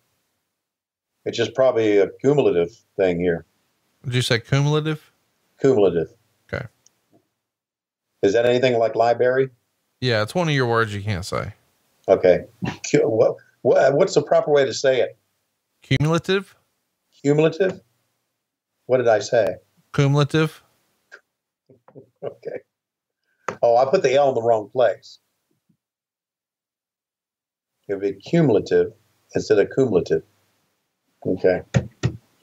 it's, it's a word that's going to haunt me the rest of my podcasting life. No. I mean, listen. Oh, yeah, it is. Oh, here's what Oh, I'll yeah. do. I'll get you set up down at the library and we'll get you straightened out. You'll be good. Thank you very much. Look at this, man. Oh, God.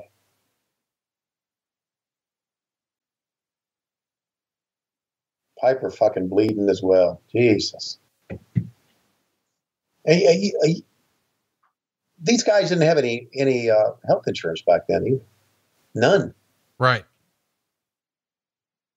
Think about what they did. And and I brought this up many times.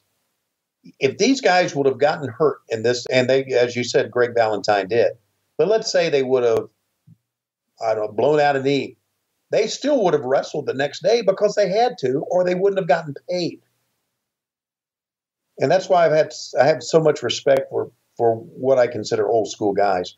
Not only because a lot of them were tough son of a bitches, but because of what they had to endure to make a living. They made great livings, yeah, but I mean they at the at the uh, at the sacrifice of their probably their families, uh, having a normal life and no health care and holy shit. I mean, if, if a guy needed to be stitched up, that guy was got to pay for it. Right. And this is this is uh, now more from a, a wrestling match into just fucking gore fest. Holy shit. Piper doing a great job here, man. Tom Miller standing up like, what the fuck are we watching?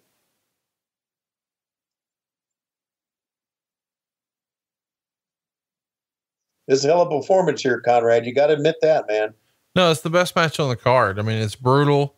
You know, we're not going to be able to do this thing justice. You know, we've, I've sort of been dumping on the show here, and I know a lot of people listening to this are going to be mad at me. Well, hate tweet me. Uh, hey, hey, it's Conrad.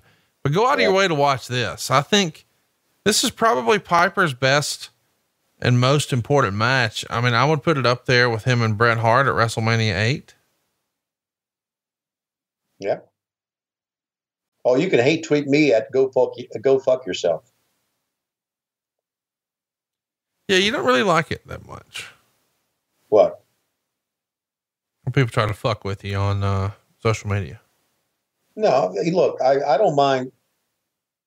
I don't mind people fucking with me on social media. I don't mind it at all. I, I uh, if the if the person's not following me and he tries to fuck with me, I'm thinking, eh, he's just taking a shot. But if somebody follows me on social media, I don't mind it. Hell of a match, kids. Notice a very young Bill Apter down at ringside as well.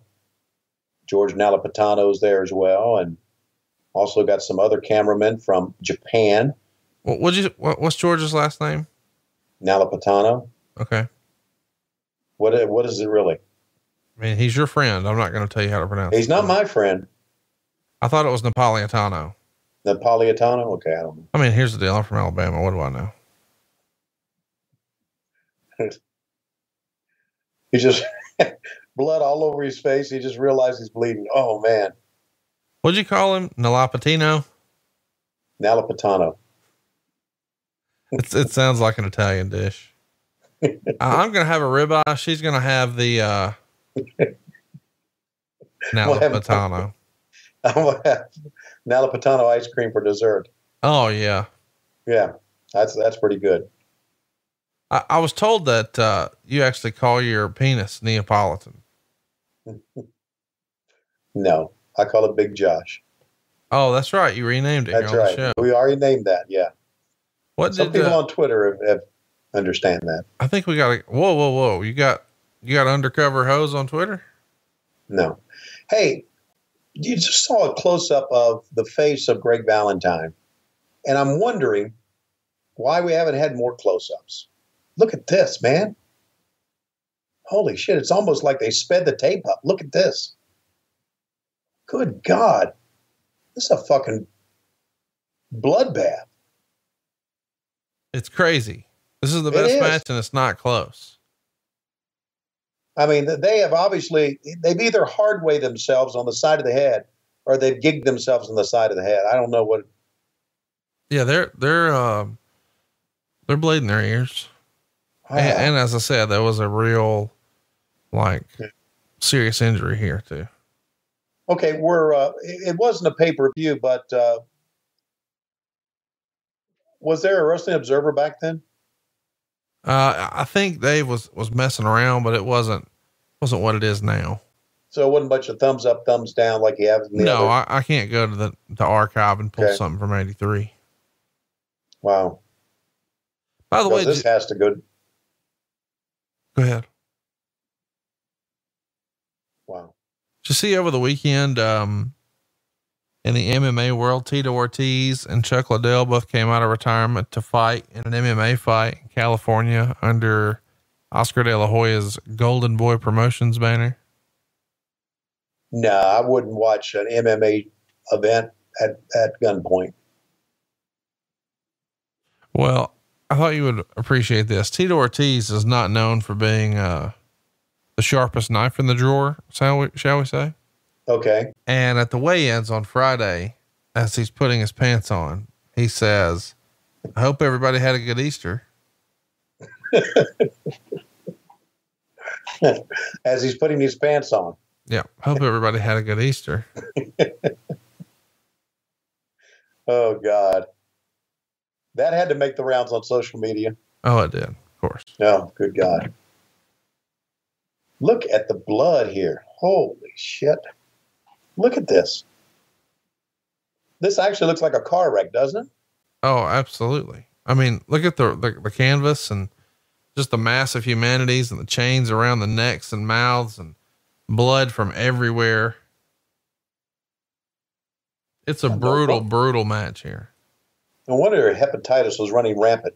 And what about staph infection? Jesus. Dude, I mean, you know, back in the day, a lot of the old school guys would, would wash each other's backs after the matches because you're going to be out here taking bumps and other people's blood all night. And if you've got any sort of cut or whatever and you're sweating everywhere, I mean, you know, if you're not careful, you're going to get, you're going to get sick. It's not like they're swapping out canvases every night like they do between commercial breaks on Raw.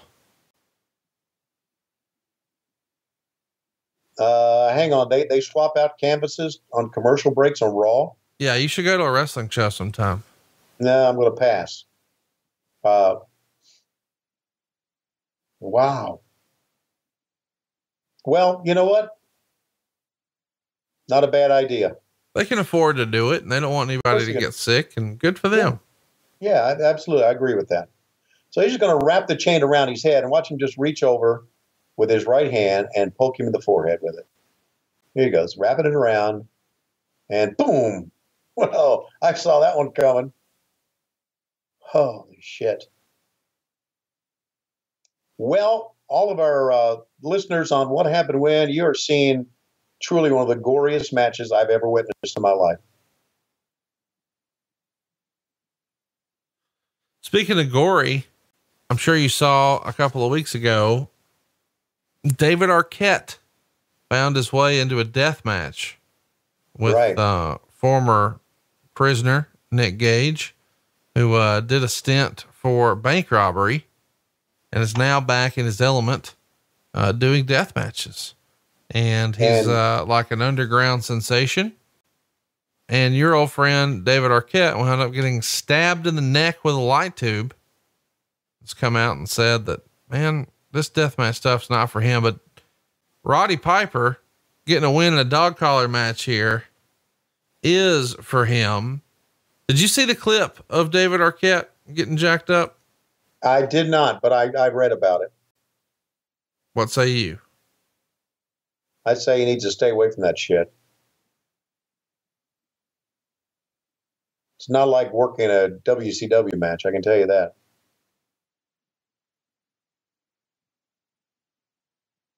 Look at this. Oh, fuck. That hurts my neck. Absolutely hurts my neck. Just to watch that. Bang, down goes Stu Schwartz. Babyface goes over, heel gets the heat afterwards.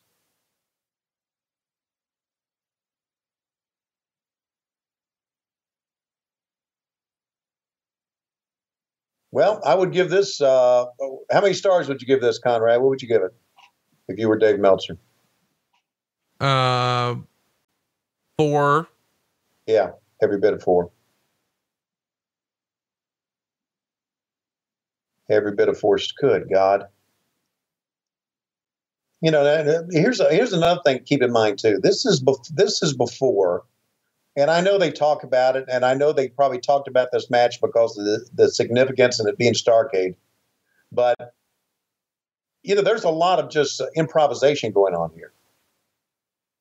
You know, as far as they don't, they're not going out and rehearsing before the the show. No one did that back then, right? So it, you know, pulling on the neck and all that shit, they're just probably just winging it here. Wow. How do you follow that? I I'm, guess with Steamboat and uh, and the Briscoes. Jay Youngblood against the Briscoes. We haven't talked about the Briscoes a ton here. Most everybody holds Jack in the highest of regards. Uh, how much time did you spend with Jack, and what can you tell us about him? Jack was a, uh, Jack was a great man, and I, I say that because Jack and Jerry, and I spent a lot of time at the backstage area with them. Jerry did most. Jerry did most of the talking. He did all the talking on the promos when they would work together. But Jack was like just just laid back, just a great man. What had great sense of humor. Always had time. Always had a cigarette, by the way, but always had time for you. Uh, and was uh, just a. I thought he was a gentleman. How? And of course, you know, I, I can remember Jack Briscoe as world champion. Right. And, uh, you know, back then when you were a, when you had the, when you had one time at the NWA belt, you were kind of like, I don't know, you were, I, I'm not going to say godlike, but you were royalty. You know, he was royalty. Gene Kiniski, who, by the way, is going to be the referee in the Flair match here. Uh, Dory Funk Jr., uh, Terry Funk, they were all royalty. And here I am with the babyface Ric Flair. Look at the scars on his head. This is your third time in the back with him tonight. Yeah, I know. I guess I should tell everybody coming up uh, here on what happened when we're going to review another one of Flair's big moments. It's going to be Starrcade 1993. 10 years later, he's going to be taking on the man they call Vader. What a story you guys told that night. And it too, just like this episode 10 years prior, featured a lot of out of the ring interviews with him and including going to the house and meeting the family and the whole deal. Starrcade 83 versus 93. What do you think? What's more significant for Flair? Wow. Uh, look, I'm, I'm tainted. I'm going to say 83. I don't think. And i know Starrcade '93 was a bigger audience, and I get that it was more nationwide. This was basically, this was basically a big event for the Carolinas, is all this was. Uh, but to me, this was the beginning of Ric Flair being Ric Flair. Maybe not. This is going to be the second time he's won the world title. Of course, we're not right. there yet, but there you see Wahoo with the big elbow wrapped up.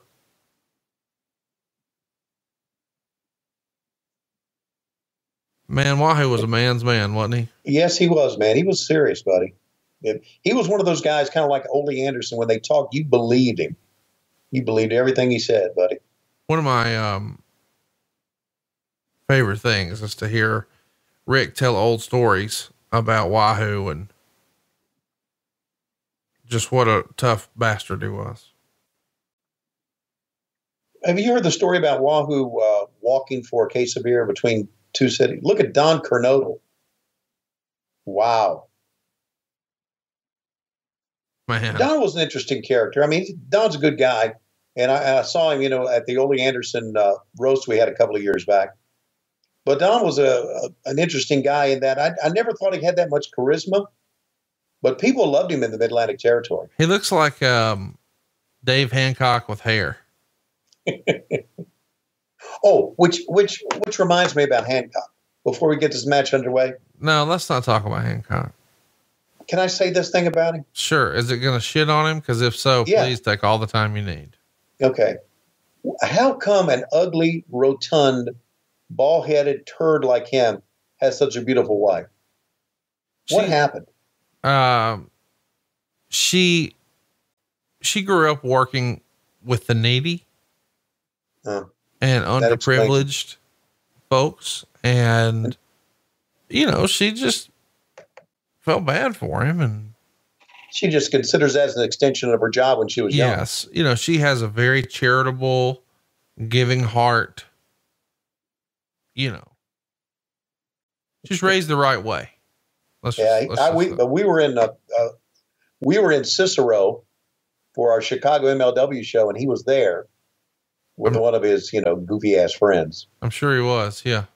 and uh, he showed me a picture of his wife, and I went, Wait, "That's wait, bullshit. wait, wait. That's not your on, wife." Hang on. What?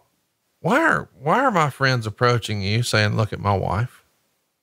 I, I don't know. Maybe you better watch. Jay Z's doing it now. out. Hancock's doing it. I got I got to reevaluate some things. Yeah, every time I see Hancock, I'm thinking Conrad needs to reevaluate his friends. Well, that's fair. Yeah, because Super Dave's uh, Super Dave's okay. Whoa, whoa, whoa. Super Dave's not okay. He's not. No. Super Dave Yeah. may be the worst offender of all. He's just got you snowed.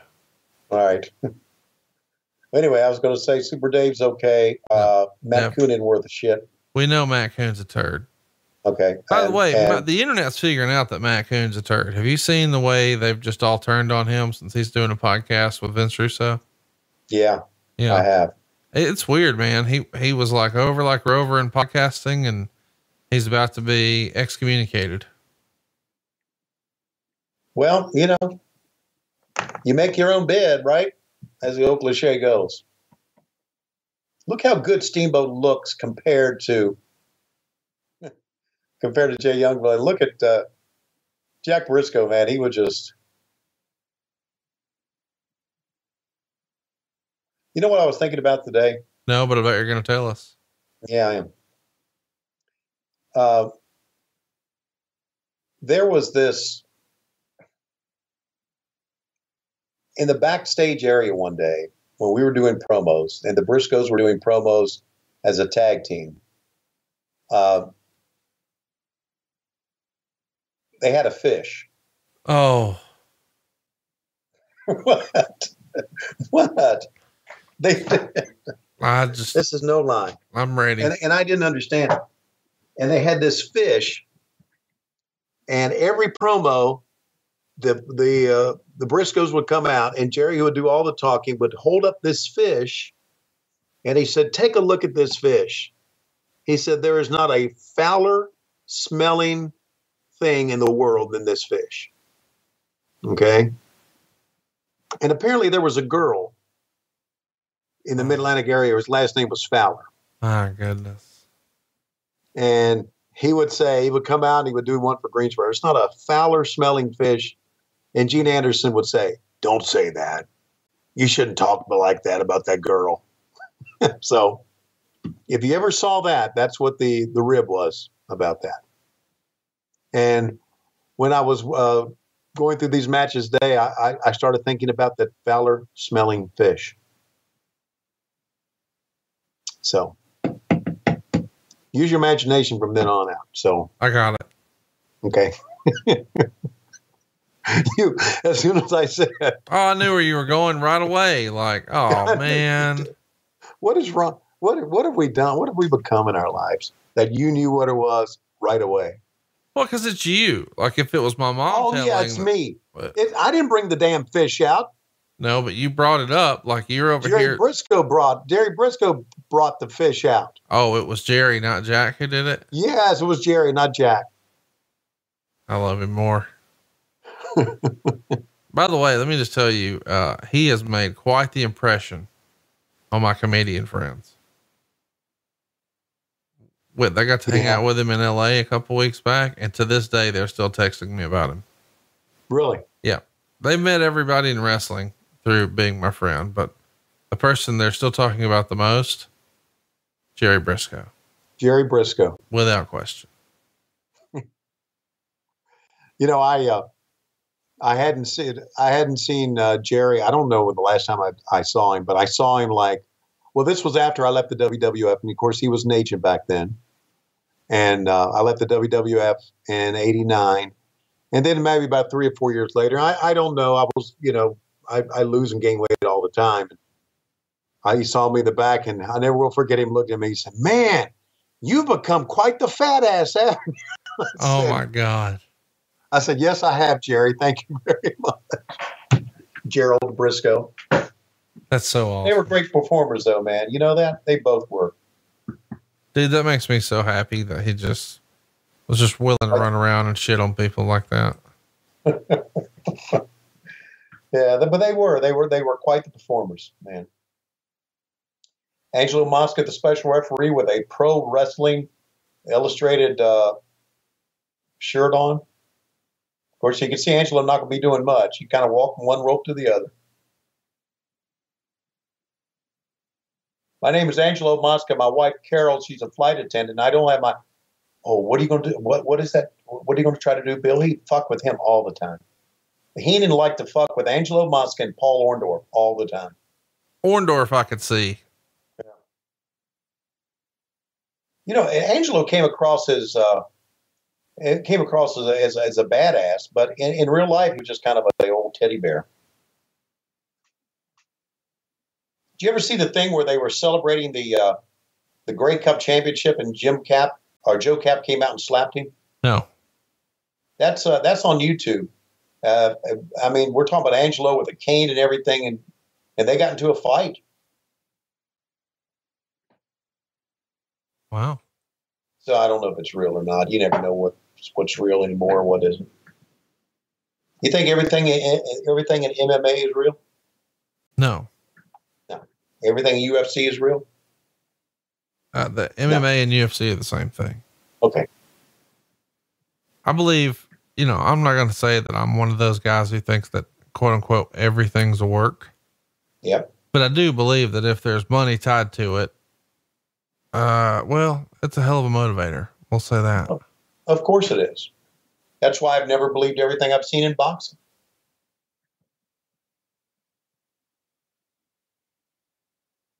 Look at Steamboat, man. Steamboat could do a lot of great shit. And of course, he was stuck there with Jay Youngblood. You really, really don't like Jay Youngblood. No, I didn't like him at all. He's no longer with us, is he? Yeah, he did. So is that why you're, you're shitting on him?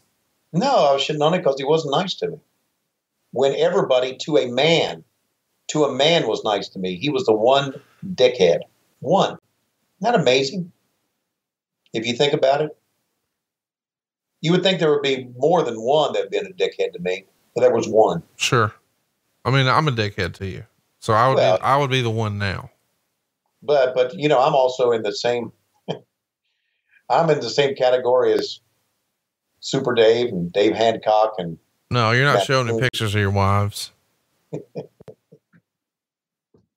uh, and can you believe Dave Dave Hancock was a policeman? Not for real. He was like a fake police officer. Really? It was like a gimmick. Yeah, he, he got a badge like on Amazon or something like that. Right. Yeah. Well, that's a that's the quickest way to be one, I guess. Sure. Yeah. That's probably what his wife thought too. You know, she probably thought she was marrying a police officer. Right. She didn't realize. Womp, womp, womp.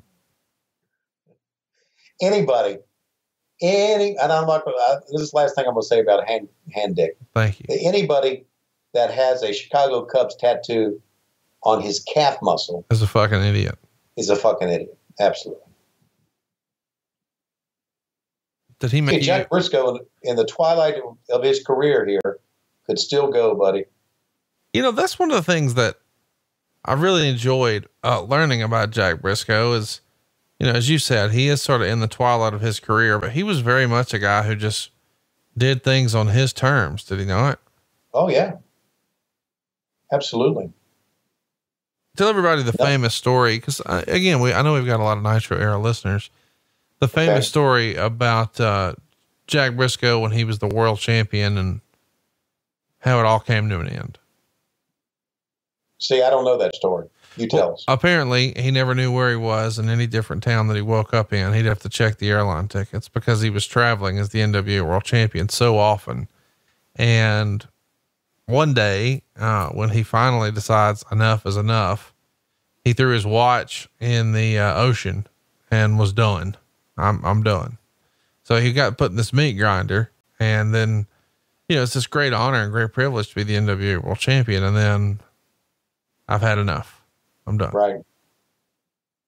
And you know, that's just, and I'm sure I butchered that story, but th- there's a lot of different examples of Jack doing what Jack wanted to do. You know, whether Sure. that was selling Georgia Championship Wrestling on the the Black Saturday that everybody still talks about, or whatever it was, Jack was going to do what Jack wanted to do, and I just think there's something super cool about that. Yeah, his own man. Forge his own way. Don't let anybody affect what he's going to do. But you do realize that, and this is all a part of that. Be, being the NWA World Heavyweight Champion was a great demand on you Oh, for sure. How could it Yeah. not be? because you, I mean, you didn't have a territory basically. You had a road trip every. I mean, you had no home base unless you know they lived in Florida. They lived in the Tampa area. Had Steamboat. Steamboat had some. Steamboat's ability you couldn't teach, man. It was just kind of a.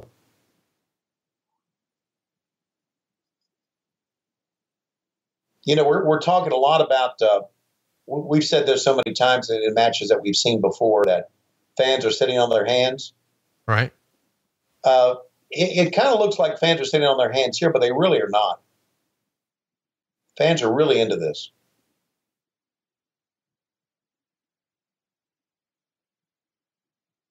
And I know a lot of fans in the Mid Atlantic territory that hated the Briscoe brothers, man. And of course, as much as they hated them in Mid Atlantic, they were very popular in Florida.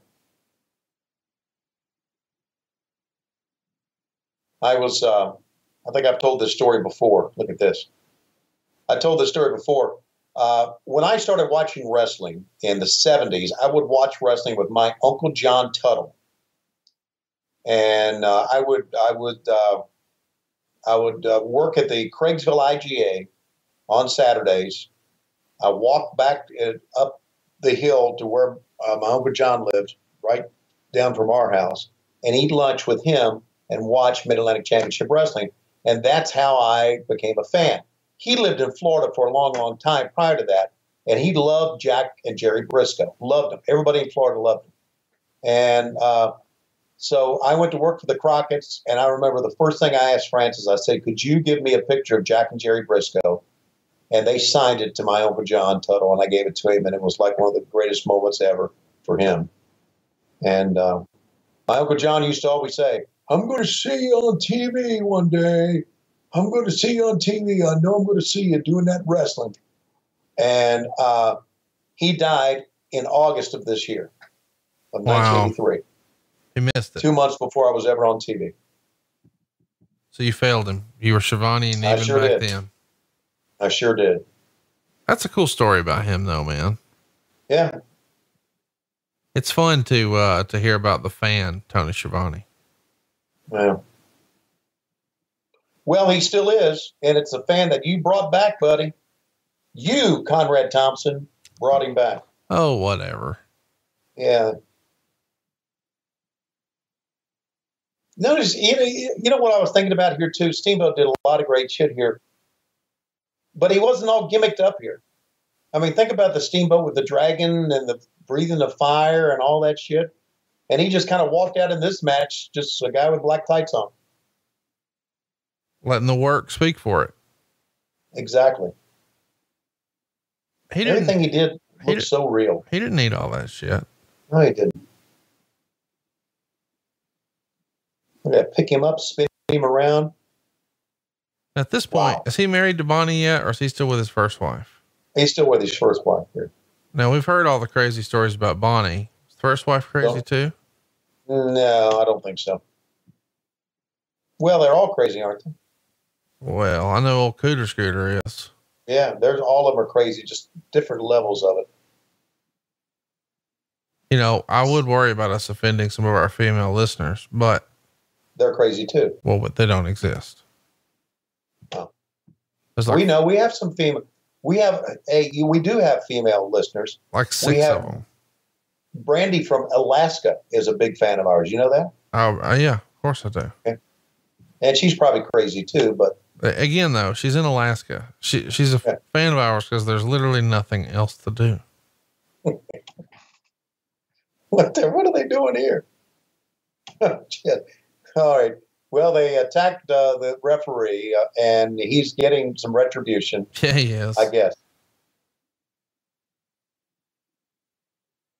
And this has turned into a big clusterfuck. Uh, that's right. Do the Wahoo War Dance. Fucker, you're not even an Indian. All right. Well, only one more match to go.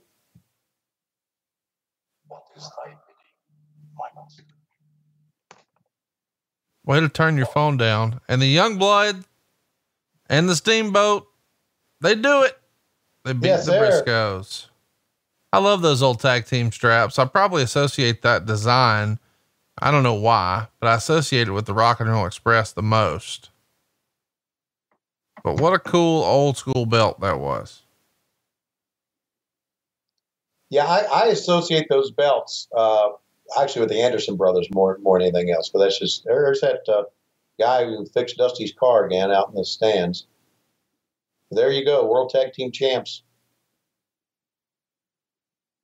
It was at that arena where Paul Jones and Ricky Steamboat in 1978 became World Tag Team Champions in a one night tournament. And the Briscoes were in that tournament as well.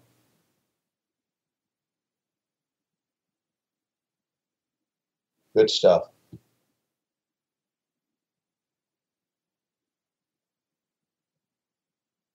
I'm looking forward to uh the next match here. Well, yeah, it's one of the uh, one of the most talked about matches ever. And I guess you're going to see. Uh, is doesn't the family come to the ring after the end of the match? I think Beth does. Beth does. So there you see a credit right in the middle. Throwing Jim Crockett up there. Yeah. And there's David. David's a good guy, isn't he? The best. Yeah, he's just genuine as he can be. I have no idea who Patrick Hubbard is. I don't remember him. I remember Toby Jenkins being a long time uh, director. There's Emerson Lawson. Dave and I were talking about Emerson the other day. Passed away recently. Emerson was a was a good guy.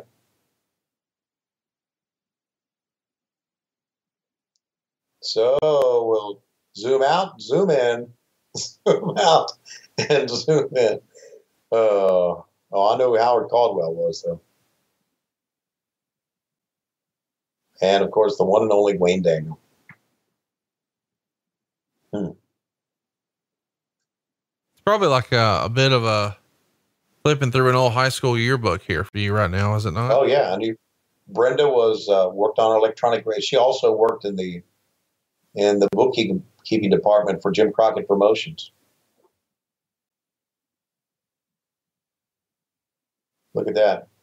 Look at the look at uh, Doug Dellinger was a cameraman there. How about that? It's kind of fun. I didn't know that's how you spelled his name. Yeah, it is.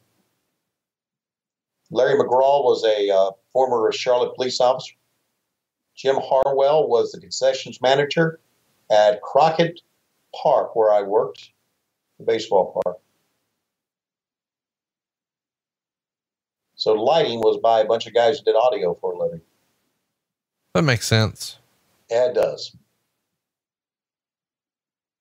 And there, I guess we did have the Nemo truck back in. I said we didn't have a truck back then, but I guess we did. Nemo was the, the truck that the Crockett's owned, the production truck. We're used to you lying to us, Tony. It's no big deal. Yeah. I wasn't lying there, Conrad. I just didn't remember. It was 30. Let's go back to Bob Caudle. Got that eighth grade science That's fair much, Office man. Depot special. That's too much. And we can't even we can't even frame it right. Oh, he's probably got the audio guys shooting it. That's right. I mean, just take a half step back, Bob, and but we got to get that Starrcade, even the brown wall behind it. Okay, getting ready now. All right, tell me about this rope. Uh, it's owned by a private collector in North Carolina. He bought it on eBay like uh, 20 years ago, 19 years ago, for less than a high end vacuum cleaner, I believe. And Who was selling it? Was Flair selling it on eBay? no, absolutely not. Flair just learned what eBay was about five years ago. And now let's go to the very, very attractive Tony Schiavone. Oh, Charlie Brown, the TV champ.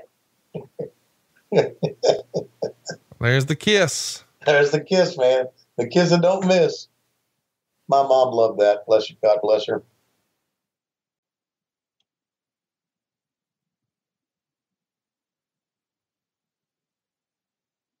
I feel like there's been just way, way too many backstage interviews in this. Yeah, there has been. But you know, that was a dusty thing. Look at this. Holy shit. Yeah, he's saying zoom in here, man. Yeah.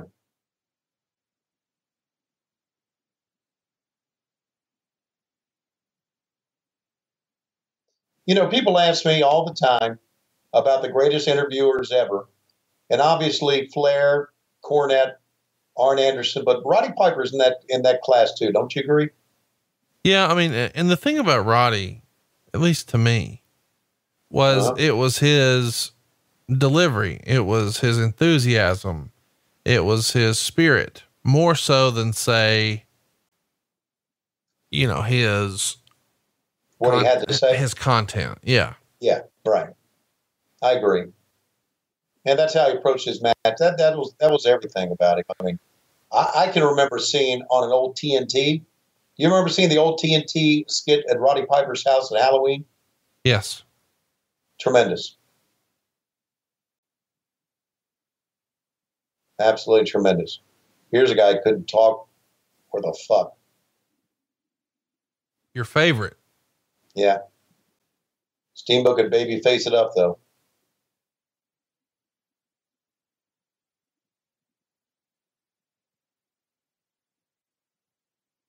You know what I think I was now that I think about it, 1980 I think I was 190 uh, pounds back then. Why do you know that? Because my weight has fluctuated like every 10 years or whatever. Fat up, fat down. At one time, I weighed 157 pounds.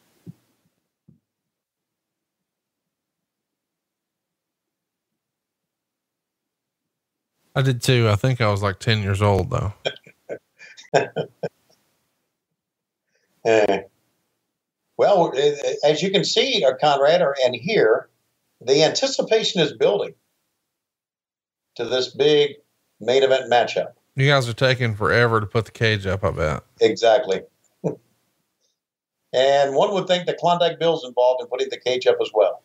He's probably chewing panties instead. I'm so- sure he's I'm sure he's had his nose and plenty of crotches by the time this show's over. That's a weird thing to say. Well, it is, but he was a weird guy. You know the uh, the the fish that we were talking about with Jerry Oh, Klondike would have loved stuff like that.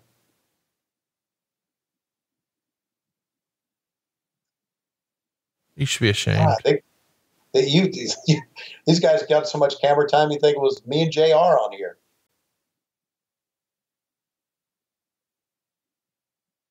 Well, this is what you wanted to do. You wanted to cover it. So here we are. Well, we, you know, that we, we, there's a lot of people that had requested this. A lot of our uh, uh, uh, fans, uh, friends on Patreon had requested. You know, they said, you know, and you know, it, it's funny though, Conrad, and since we started doing this uh, podcast, and since the the network and we do all the watch-alongs, we've gotten a lot of people interested in the old Jim Crockett stuff they weren't interested in. I've talked to a lot of people that said, "I grew up a WWF guy." But now, thanks to you guys, I'm I'm really interested in the Jim Crockett stuff. Yeah, that's our bad.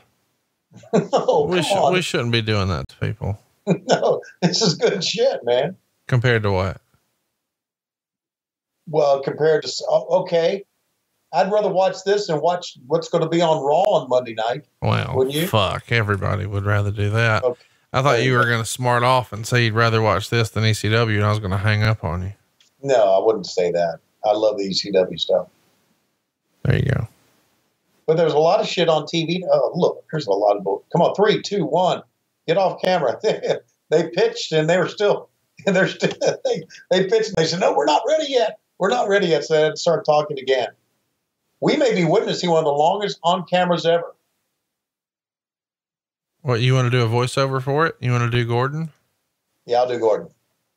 well, I snuck in about five gin bottles uh, from the airlines today to getting here. and I just like to say that, uh, that I just told them they could pay me in liquor and I would be fine here today. And I would go to Malio's and I would be just fine. And I don't know what I'm doing here. I'm really the top wrestling announcer in the world, Bob Caudle.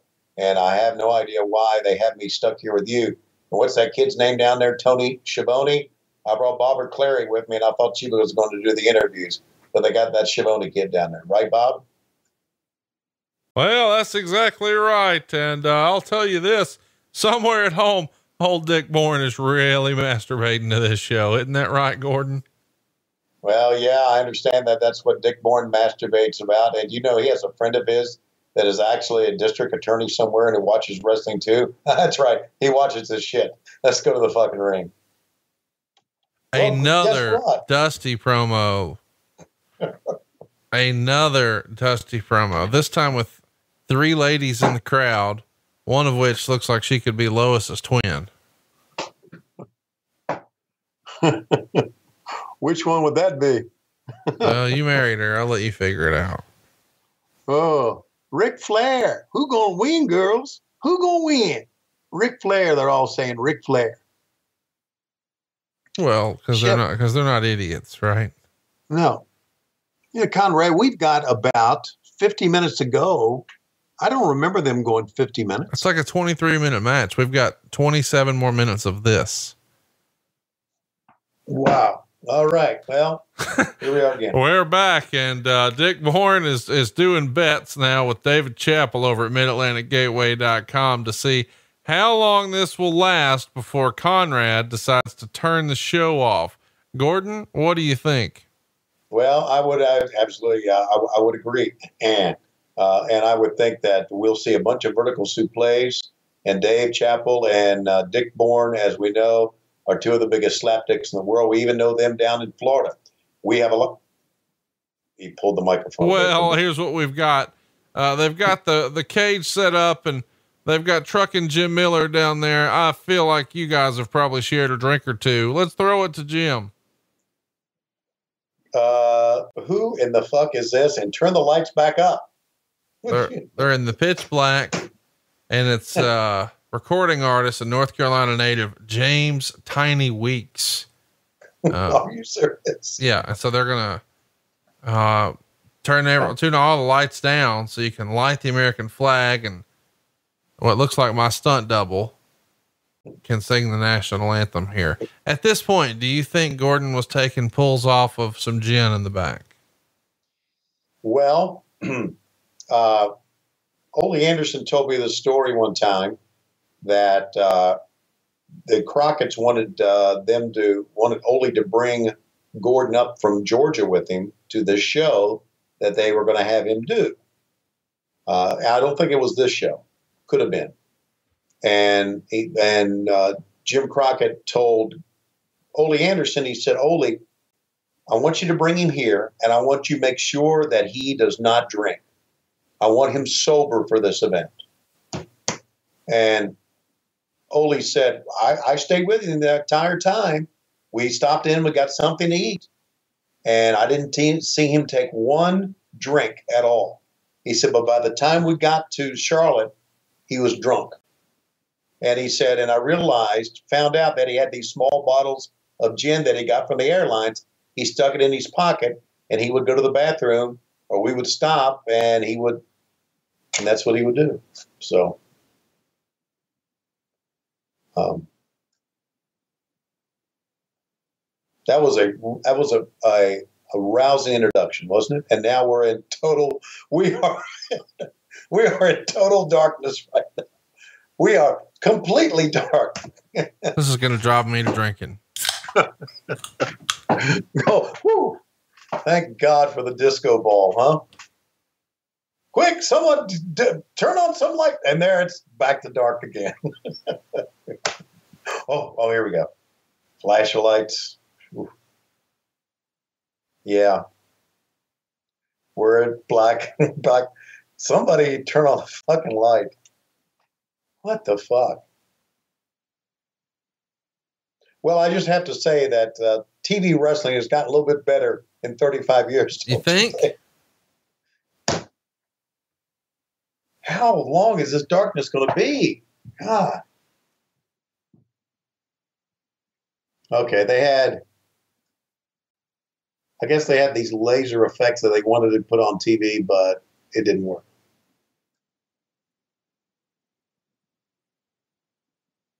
Good God.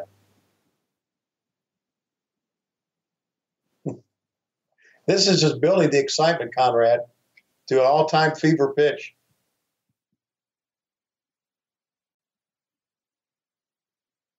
Okay. Come on out, Rick. Jesus Christ, come out. I don't believe what I'm watching here.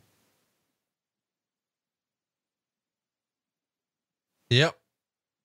We have had now for the national anthem, which takes about two minutes. There you go. Finally, there's some light for that explosion. We have had on this telecast almost four minutes of darkness now. And now there's Flair. There's a famous shot we've seen a lot of, haven't we? Absolutely. Yeah. It's a cool robe. Yeah, it is. Super old school.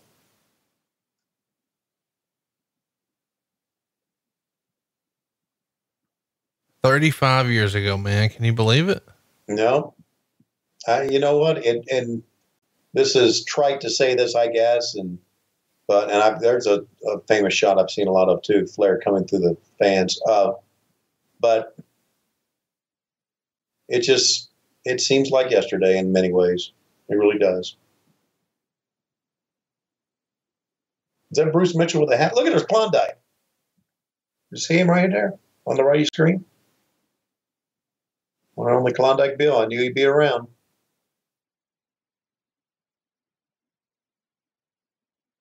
Now they say, they say, I've been told, and I think maybe Tommy Young told us this. Didn't they screw up the finish of this match? Have you heard that story? No. Yeah. The finish was was Flair coming off the top, right? Or roll him up or something. Yeah. Crossbody rolled up. Crossbody. That was not supposed to be the finish. They, the finish they actually screwed up what was supposed to be the actual finish, and the crossbody was what they came up with on the fly. Now, what the actual finish was, I don't know, but I've been told many times that the actual finish of the match, we can need to talk Pop about this. That that was not supposed to be the actual finish. But again, you know, you you don't you're back in old school. You're you're not uh, choreographing everything. You're not practicing. You're not going out and rehearsing shit. You just got to kind of go things on the fly. I wish it wasn't so late. I just call and ask.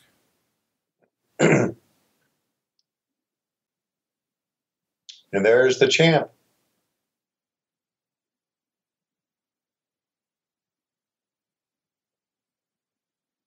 It's pretty cool that WWE owns that Harley Race robe. They show it off every year at Axxess around WrestleMania. Yeah. I heard through the grapevine that uh, earlier this year, someone stole Harley Race's commemorative world title. What? I know. Who the fuck steals from Harley Race? Like, Would you like to, not like to find that person and beat the fuck out of them? Yes. He's, I mean, he's the nicest old dude ever. And if you're a wrestling fan, the idea that you would steal from Harley Race is just fucking awful. You will burn in hell for that. I can tell you that. You absolutely burn in hell for it. Wow. Now we have uh, we have been okay. We have been almost what? What I say about twenty minutes between Since the, end of the Steamboat match. Yeah, it's been a while, man. It's really dragging. This is this is not going to work out to be our most fun podcast just because this show is not fun to cover. Yeah, it's, okay. There's uh, Gene Kiniski, the uh, special referee. Old Wally Dusek, who was the, the timekeeper. Wally was a pretty good guy, had these big old cauliflowered ears. Wally used to tell me, because I used to do some ring announcing, and Wally would sit beside me. Wally would say, These wrestlers can be son of a bitches. If they tell you to call them by a certain name and it's not what the promoter told you to call them, you tell them to the fuck no, you're not going to call them that. You're only going to call them what the promoter. To, I'm thinking, wow, man.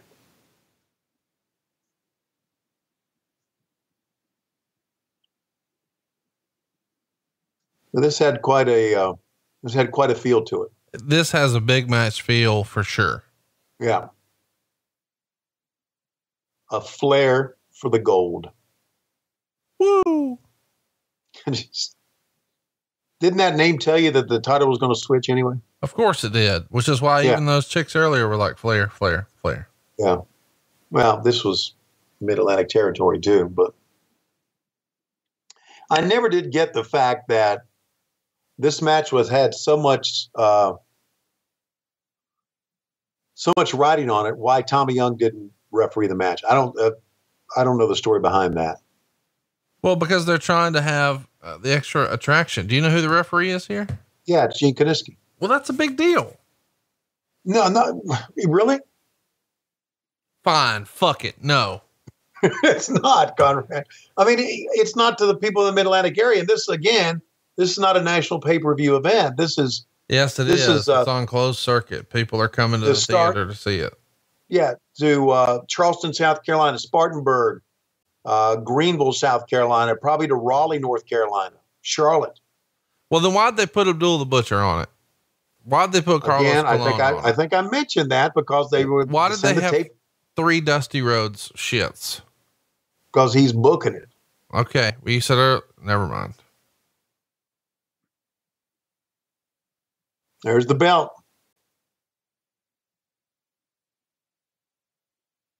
Can I just tell you that uh, me and all my friends are going to come mess with you during the game Saturday?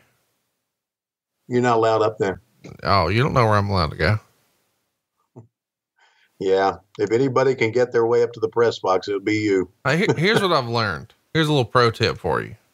Okay. If you're wearing a suit and you look like you're supposed to be there, nobody says shit. Just put a suit on, walk fast, confidently, no trepidation. Yeah. You're in there Not like swim. You're in there like swimwear. The odds are the security officers at Mercedes-Benz Stadium, They know they know me over there. yeah, they see you come, they say, "Hey, we love your podcast." Now they're just like, oh look, he's here again. Roll Tide. you know, we just beat the fuck out of y'all over there all the Oh. time. I, I, I won't uh, remember his name. I think his name was John, but I was down the Caymans and uh, Creighton's basketball team was in that tournament, and the play-by-play guy for Creighton came up and says, "Love the podcast. Tell Conrad I love him." That's awesome, man. Yeah, Bruce and I, you know, we did our show at WrestleCade in Winston Salem. About every other person who came through the VIP line was at mine and your show in Charlotte two weeks ago. Wow. So it was kind of Those- fun. I remembered a bunch of those dudes. Yeah. We got uh, we got there's great fans all around. Yeah, and Good you know what? They're really glad that you're back, man. They really Well, Why am I back? Go ahead. What you, well, you're back for the money. You're No, well, yeah. okay, forget forget I asked you. that. That was funny. Fuck you. I'm back because of you, motherfucker. And the money. And the money. Yeah. okay. So we got an old school wrestling match going on here.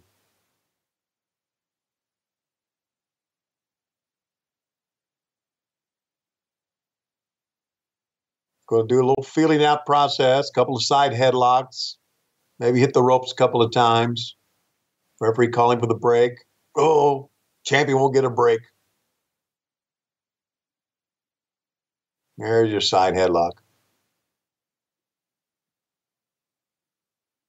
You look at Bill Apter down at ringside with all that hair on his head. Jesus. H- Who's the other photographer? George Napolitano. Yeah. George Neapolitan, as you called him. George Neapolitan. For the purposes of my story, his name from now on is George Neapolitan. George Neapolitan. How you doing? Hey, I'm George. How you doing? Absolutely. Without question. You're back. Why am I back for the money? It's not all about money. Is it? No. Oh, by the way, my our buddy who uh, who's one of our low key big hogs on Patreon. By the way, you can join us on patreon.com forward slash WHW Monday. But uh, one of the uh, one of our Patreons, uh, Paul Bromwell, you know, Paul, you met Paul in Philadelphia. I met him this past weekend. He was at WrestleCade. Right. He sent me a video that I haven't watched yet. He did a video with he and uh, Francine. And I've yet to watch it. I saw it, it came in the other day, and I was just kind of tied up. You're going to wait and watch it when uh, Lois is out of the house? Yes, I am. I'm going to watch it in the bathroom. What I was told, can I share or do you want to keep that just between us? You can share it. Go ahead. So, what Tony told me was his move is to lock the front door, lock the garage door. Wait a minute. Whoa, stop. What? I thought you I thought you were going to tell me something that Paul told you. This is something I told you? Yes. Oh. That you would get in the den and you get th- and you get your pants down around your ankles and you get three pillows under your right elbow. and you'd have like a little thing of tissues. And I forget what type of lotion was it you were telling me? I don't remember the You're brand. so full. I don't remember the brand. And then put the Francine video on. Is that what you're saying? And then, you know, roll tide. Hey, so let me ask this. Uh, and th- I don't know why this makes me laugh, but is the Buffalo Bill thing that I did a few weeks ago still something you're getting tweets about? I feel like every time I log into Twitter, there is another Photoshop of me as Buffalo Bill when I talked about the, uh, you know, from Silence of the Lambs, where I talked about the gag you pulled on me at the house where you, I came out of the bathroom and your pants were down and you tucked your Franken beans between your legs. And I did the voice that you love so much. Good God. By the way, I'm getting Mrs. I'm so mis fucking represented that it's Mrs. Thompson laughs out loud every time I play that clip for her and let her hear me do the voice. do the voice for me. Go ahead. No, because here's the deal: you've hyped it up now, so it won't be as good. I'll just I'll just hit you with it when you're not ready, and it'll still keep its comedic effect. Oh God! By the way- we're talking we're talking about this when Ric Flair's wrestling Harley Race in one of the classic matches of all time. Well, they're doing a 44 minute um, headlock. Hey, you know what's interesting to me? Flair, who is so meticulous about his his his outfits, for lack of a better word, his presentation. Mm-hmm. His boots here are beat to shit. Flair later would be if it's a big match, I'm going to have a new robe, I'm going to have new boots, I'm going to have new knee pads, new tights.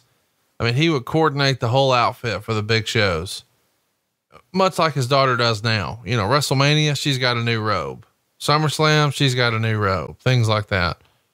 But here, Rick's boots are just beat to shit, man. And they're green, right? Yeah, So they're they're not nearly the attention to detail that you would see years later. And I don't know why that. I don't know if it's because, you know, Clifford Macias, his bootmaker, was just behind, or well. Uh, here's a thought: he's probably years later making a lot more money. He could afford to a lot different robes, a lot different. you, you know boots. what? I just confused my matches. These boots are not beat to shit. They just don't match, like what you said. I'm colorblind, so I had to actually see him up close. I just remember thinking something was fucked up about his boots. But like Yeah. I didn't know they were not the same color until you pointed that out. But now that I see the boots up close, I realize no, they're good. They're they're in good shape. That just means they they can't match. Yeah, they don't match at all. They they look out of place. Yeah, So, so again, you know, uh, as you move on, and Ric Flair, you know, I, I know Rick. Obviously, Ric Flair was making a lot of money back then, but Oh, it was nothing like he was getting ready to make. So, sure.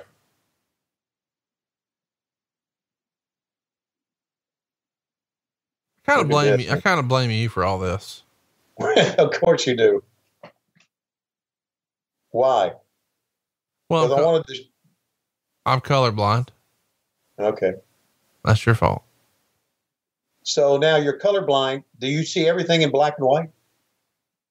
Um, no, not everything. I just found out a few weeks ago that Jay Z wasn't black. So that's new. Yeah. Uh, when we were going out to dinner and Charlotte, what color did you think this pineapple suit was? I just knew if Jay Z was wearing it, it was fucking stupid. All right. No, I mean, like this past No, weekend, you, you missed it, but at WrestleCade, he wore a flamingo suit. Are you serious? Yes. There's got to be a picture online somewhere of that. Oh, I'm sure there's a thousand. And here's the deal too. Like, he's a nice guy. Just dresses like a fucking idiot. Wow. Harley could really put on a pile driver. Dude, Harley's power moves. I mean, they just look everything Harley did looked deliberate and impactful, whether it was an elbow, um, you know, the fist drop, the knee drop, everything looked like it hurt. Right. And he did that that headbutt too. You know, where he would wouldn't wouldn't he do it off the top rope where he Yeah, but most of the time it was just from the mat. right? Who do you think's calling the match here? Historically, the heels call the match, but we've also heard that Flair would call it a lot. But Harley being the veteran, you think uh, Harley's calling this one? Yeah, there's no doubt. Isn't it crazy to think about too? Just that, you know, these days everybody sort of wants to run through what they're going to do. And man, that is not the case here. These guys are just winging it and calling it in the ring, as they say. And this is the biggest match of the night and arguably of either one of their careers, just based on the audience.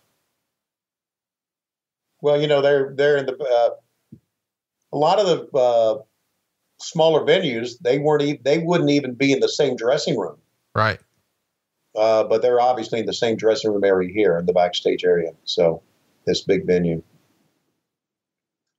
This was this was a legendary arena. I mean, this was the the biggest arena for Crockett Promotions, so they always had big shows, and this was also the venue for the the ACC basketball tournament back when the ACC basketball tournament meant something. And now, a little bit of that Flair going to the top, jabbing himself in the forehead here. What a shot, man. I love it. Look at the blood spots. It looks, it makes it feel like, remember those famous boxing images of uh, Muhammad Ali? They were shot from Yeah. above like this. That's what it makes me think of. This is someone up on the catwalk too, laying down. It has to be with a, one of those cameras, one of those heavy cameras on his shoulder. Wow. It's a wonder nobody was hurt. Yeah.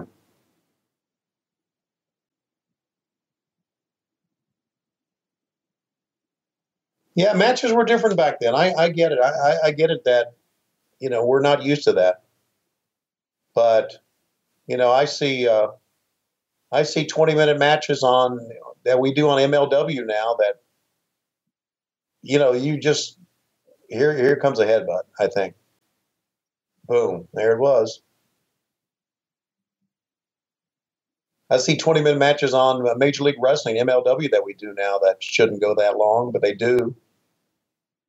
But uh, but again, if you, if you got two guys who can tell a story, it, it's and the fans dug it back then because they, I mean, they weren't watching the high flying, flip flying bullshit we see now. I mean, we're in the high spot era, right? It's kind of like baseball. They all want to see home runs now. Yeah. But that's not the essence of the game. The essence of wrestling is telling stories in the ring. And the story here is that Harley Race got the advantage, and he's got Flair in trouble using the cage. And now, can Flair come back? And he's laying it in. He's got an opening, literally, an opening. He's got to open his forehead some more. And this was, I mean, and, and the baby face, the, the baby face here, you you got behind him and he fought from underneath and you want him to come back and he showed heart, he showed courage, he showed determination, showed all the attributes. Without question. Thank you very much. I knew somebody would say that and I feel it would be you. Whoa. You know, um, I don't think we've said Patreon enough on this show yet to annoy anybody. Okay. Well, there was a Patreon elbow right there on top of Harley's head. And Patreon, oh, watch out. Former world heavyweight champion Gene Patreon Kiniski is pulling him back and uh, falls right in the middle of the ring with those logos P A T R E O N. Hey, give everybody a uh, time cue of where we are here on Patreon. Okay. we're 26, 25, 226, 27, 28, 29, 30. I'm looking at a shot from overhead. And Harley Race just hit the other Patreon corner and falls face first. And Gene Kiniski uh, says, Hey, you know, they got videos of Lois Schiavone and they got, and Flair just reaches into Harley Race and says, Yeah, and I like slapdick theater too. Ooh. And now Flair's coming back, and here's the story they're telling.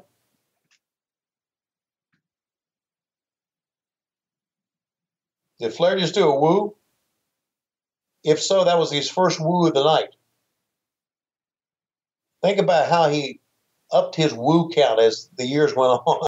you know, he he's talked about that before, where he said that as his physical skills diminished, he had to up the entertainment. Right. And that's just a man who knew the business. Not just necessarily the wrestling business, but the entertainment business. Still does. Yes, he does. You ever seen that commercial where he, he just he's in an office building with this woman and he's wooing his ass off and dancing, and these two people are looking at him like he's fucking nut. Yeah, I think you're talking about every commercial he's ever done. That's right. Hmm. Oh, oh my God! He's trying to break his fucking neck. This is when wrestling was presented a different way, man. It was very much presented here as an athletic competition.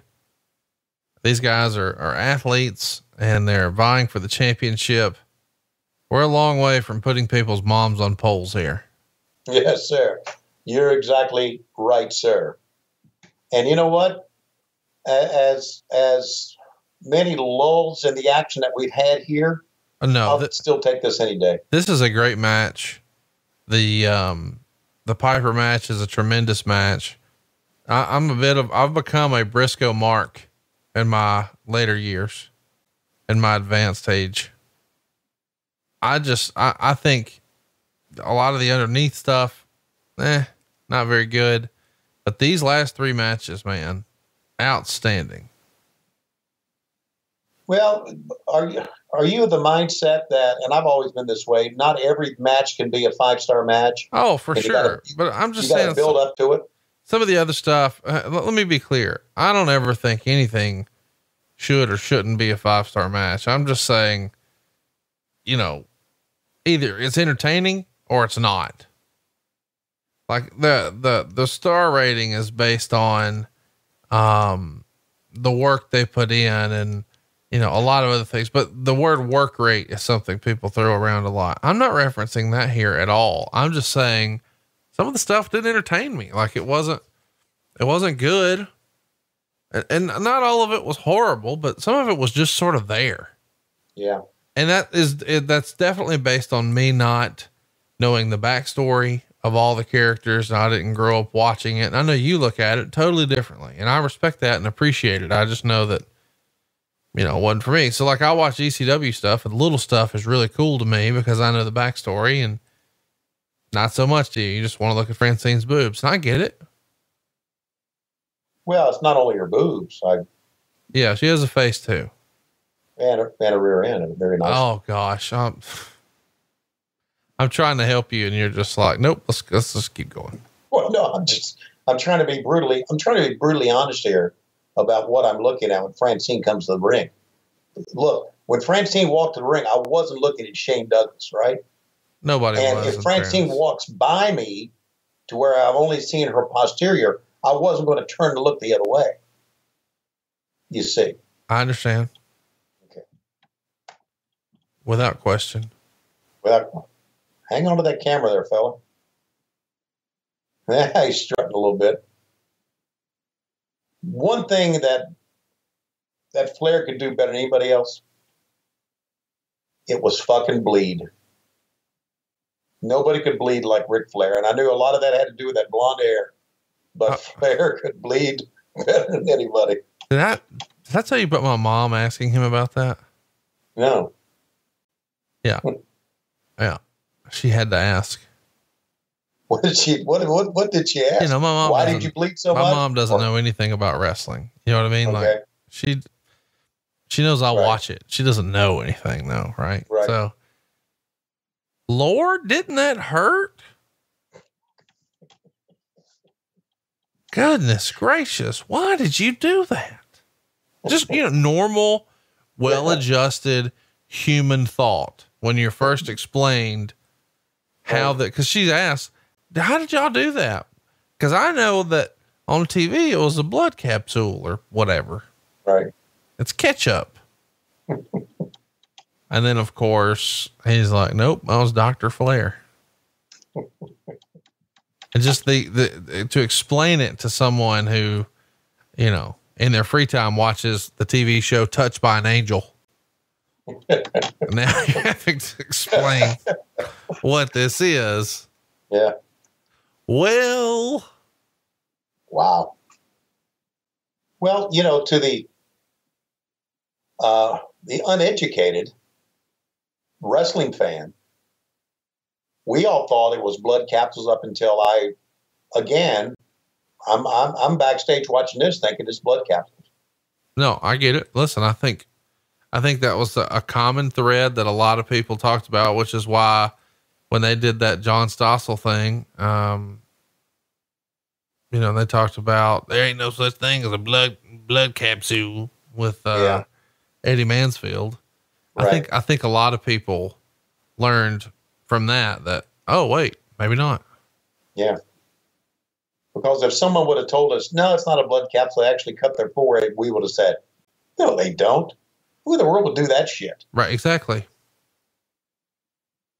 But it, I think it's a natural thing too to just assume dragging a razor across your head has to be horribly painful. Well, I've got. I was talking about the stack of pictures I have from uh, some of my sh- shows as a fan. I went to Greensboro, we went down at ringside, right down to front row ringside one time after a match. I think it was Blackjack Mulligan and Harley Race. Uh, no, it was Blackjack. Who was it? It was Blackjack Mulligan against Ric Flair, and it was Dick Murdoch against Harley Race. And uh, we we went down, and I thought I saw a blood capsule, so I took a picture, and I brought it back to all my friends. and Said, "See, it's a blood capsule. There's one right there." And I still got that picture. We thought it was a blood capsule. Can you put that on Patreon? Uh, yeah, I sure can. What what I think I was know it? where the pic- picture is. What was it a picture of? I have no idea, but it looked like a blood capsule. But it wasn't.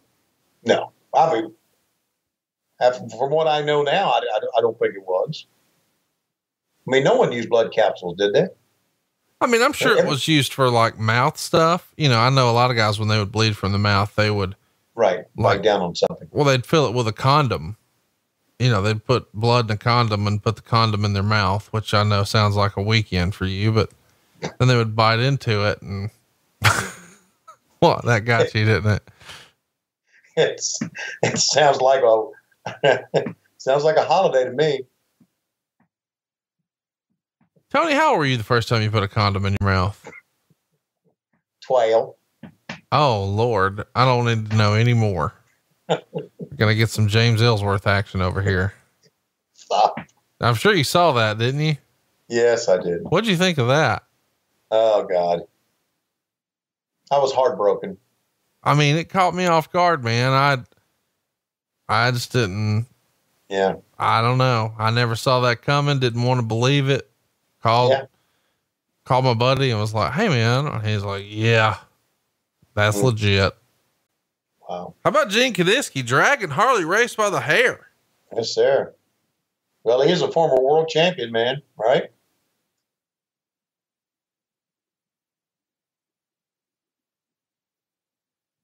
See, Jr. got a couple of black eyes. Yeah. Fell down the steps, didn't he? Yep. I think he missed the bottom step Hmm. at a buddy's Okay. house. Took a hell of a bump, man. Ah, that's an understatement. Did you see him in, in Winston Salem? I did. He's in the He's best pro, man. He's in the best spirits I'd ever seen him in. I've only hung out with JR a handful of times, but Yeah. I, we had so much fun just catching up with him. Yeah. He's a he is a engaging, funny conversationalist, buddy. It's funny that, you know, uh, right away, he's like, uh, so, uh, hey, I heard about one of those bits you and, uh, you and old Brucey do at your live shows at my expense. And I knew exactly what bit he was talking about. And he named it, but I don't want to spoil it. And he said, somebody asked me, doesn't that piss you off? And I said, hell no, boy. Talking about JR is good for me. Just totally got it. Like, I'm Yeah. the, I'm I'm the most parodied person in wrestling. No, it doesn't bother me. Come on. Is this our finish? There it is. Yep. Look at the fans going nuts, man. What a cool moment. I think a lot of people think that this is Flair's first world title win, but it's really not. He- He won in 81 in Kansas City, He beat Dusty Rhodes for it, and been a lot of debate about why it was in Kansas City, where neither one of those guys were really, you know, the the main draw. But here they are, Greensboro, North Carolina, the heartbeat of Mid Atlantic, the first super show. And it's the crowning moment that Ric is actually ready for. He said when he won it in 81, he really wasn't ready for it. But man, he's ready for it in 83, and they are giving him a hero celebration, lifting him up. Fans are going wild. Man, that belt is synonymous with Ric Flair to me. This is also a big moment for for the fans in Greensboro because it was something special to see a title switch, Absolutely. uh, and uh, now they're seeing the biggest title switch. So this was a this was a really really a, a big deal in many ways, and uh, a great moment here. You know when you uh, you talk about Flair winning the title in Kansas City. I guess it was done because Bob Geigel was the NWA president, right? And he wanted to have a switch in his hometown. That's the first thing I thought of. Hey, let me ask you. This is the first time you saw an NWA World Title switch in person, huh? Yeah, absolutely. Being a um, a Mickey Mark for the NWA your whole life. Yeah, this is a big deal, is it not? You're damn right, it's a big deal. When we would go to wrestling matches, we would want to see two things. We want to see a title switch. We wanted to see juice. You never see those at spot shows. You never saw those at the Harrisonburg High School gym or at the Augusta Expo. Hardly, uh, I saw one time in Roanoke, Virginia, but you would always see juice and title switches in Greensboro. And there you go. On Angelo Mosca's, oh, flashing that Ric Flair. yeah, the flashing Ric Flair graphic. That's yeah. great stuff, man. So there's still about uh, 15 minutes left in the show. So what are they going to do here? He's going to do a promo uh-huh. and we're gonna do some promo. That's in the ring. Then we're gonna go backstage and do a promo with Harley Race. We'll probably look at Bob Caudle, Bob Caudle, and uh, Gordon Solie for about twelve minutes. And didn't Dusty say come to him and say, "I want, I'm, I'm a world champion here." And there, and there is a wife number two, Elizabeth, who we know as Beth. Yeah, that's uh Charlotte's mother. Right.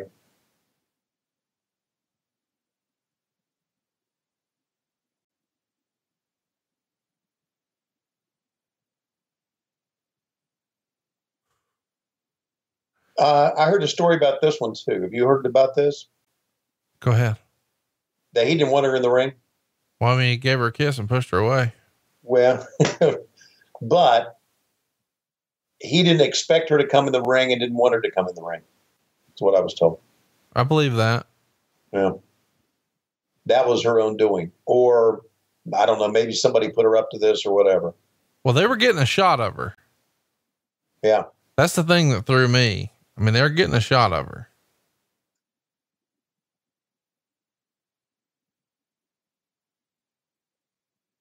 A lot of these kids, I have no idea. There's Rufus R. Freight Train Jones. There's Barry Horowitz. You see him over there? How about that? Had the glasses on and the, the jacket over on the right. They will pull out and see if we can see a shot again of him over there. Another shot of Beth.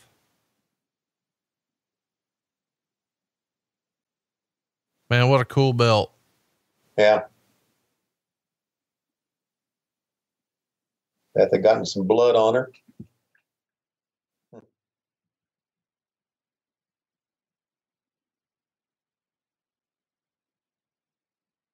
great moment. Absolutely. Uh, uh, one of those moments that you, you remember your entire life. Not only if you're Ric Flair, obviously, but there's a lot of fans still hanging around too.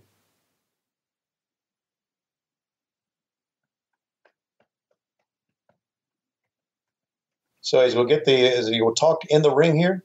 Yep, there he goes.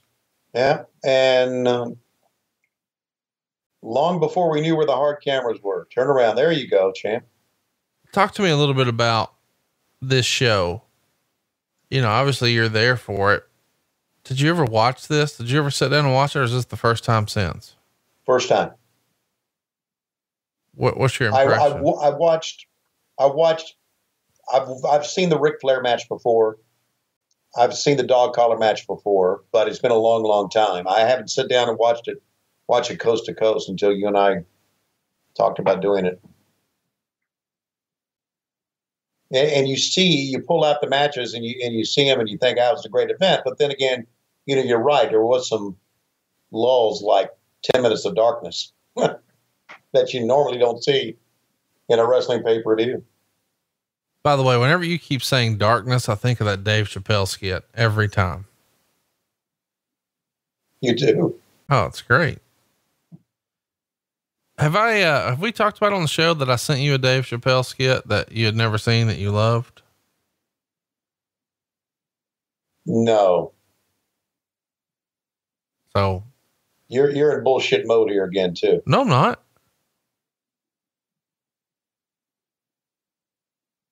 You don't remember the skit I'm talking about. No, I don't. That's disappointing because you laughed. Bullshit. No, it's not. Listen, Where your Oh, parents? there's? Conrad Tom. No, it's My got mommy and daddy are at work. Oh yeah? Well, me, I gave up working a long time ago.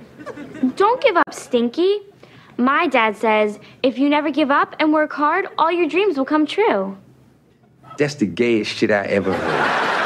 What? I don't believe your pappy. May be rich, but he ain't happy. Tells you about work and you want to be him. But when's the last time you got to see him? Works hard. Why? So you can go out and buy a bunch of shit that you don't need. Driven by your punk ass hopes and greed. That's why I say, fuck it. For the first time in my life, I'm finally free. No mansion for me. I said, fuck it. No brand new Humvee. I say, fuck it. But you'll get no pussy. Fuck it. You don't understand. Is I make love to my hand. So I don't need you, honey. I beat my dick like it owes me money. Fuck it. That's right, I said, fuck it. Oh God. so Flair's got a promo in the back with you here. This is your 19th time on camera today. That's right. And it was my most entertaining time because fuck it. I can't believe you had never seen that until I sent it the other day. Oh That, God. that, that should be your, your like, that's, that's Tony Schiavone in song form. that is. Fuck it. Okay. Makes me happy. It does. Ric Flair and Ricky Steamboat and Tony Schiavone holding that long ass microphone. Let me tell you, when you've got a bunch of cuts in your forehead, pouring alcohol directly into it probably doesn't feel good. no, I know. Never I know done it, doesn't. just guessing, just freestyling, but feel pretty confident in that. Oh God, look at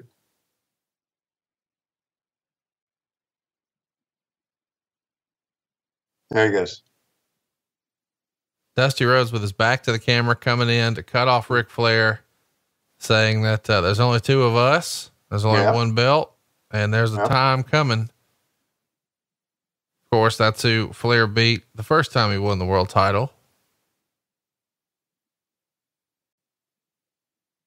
How excited were you being that close to Dusty Rhodes and Ric Flair as a fan?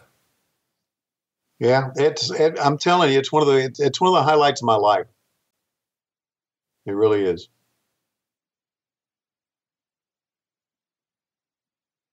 That makes And me I happy. got all that champagne all over me. Did you go And home now back. let Lois, uh, well, You go bring. Lois's name into this, aren't you? fuck it.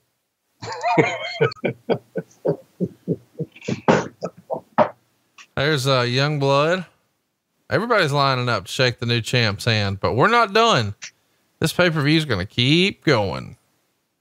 Rocky Cornado. I don't know who this kid in the plaid is.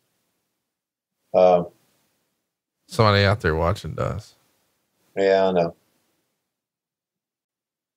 Rufus Howard. I'm happy. I'm smiling. Sonny Fargo. Okay. Man, you, you know, you're right. There's a fucking lot of talking going on on this show. It's too much, man. It's too Yeah. much. Yeah. I guess they were trying to fill three hours. I, I don't know. I'm finally free. oh. Every All right. So Every time So, the uh, uh, the female voice says, and you'll get no, you crack up every time. I've never shown it to you where you didn't immediately start laughing when she chi- when she chimes in. Well, That's what makes the world go round. well, how does That the uh, how does the world still go around for you then? Well, you know, the old saying was that guys don't worry about two things, right? Where to put their Peter and where to put their pocketbook. Well, That's what they say. I don't know if that's true. well, well you're a guy. Where are you? What are you worried about these days? I'm worried about taking a nap. I'm about my dog. Worried about my baseball glove. Oh my god. I Yeah. love you. I love you for this. Worried about what people say about me on the internet. I know you ain't worried about that. Worried about my friends. No, you're not. yes, I am.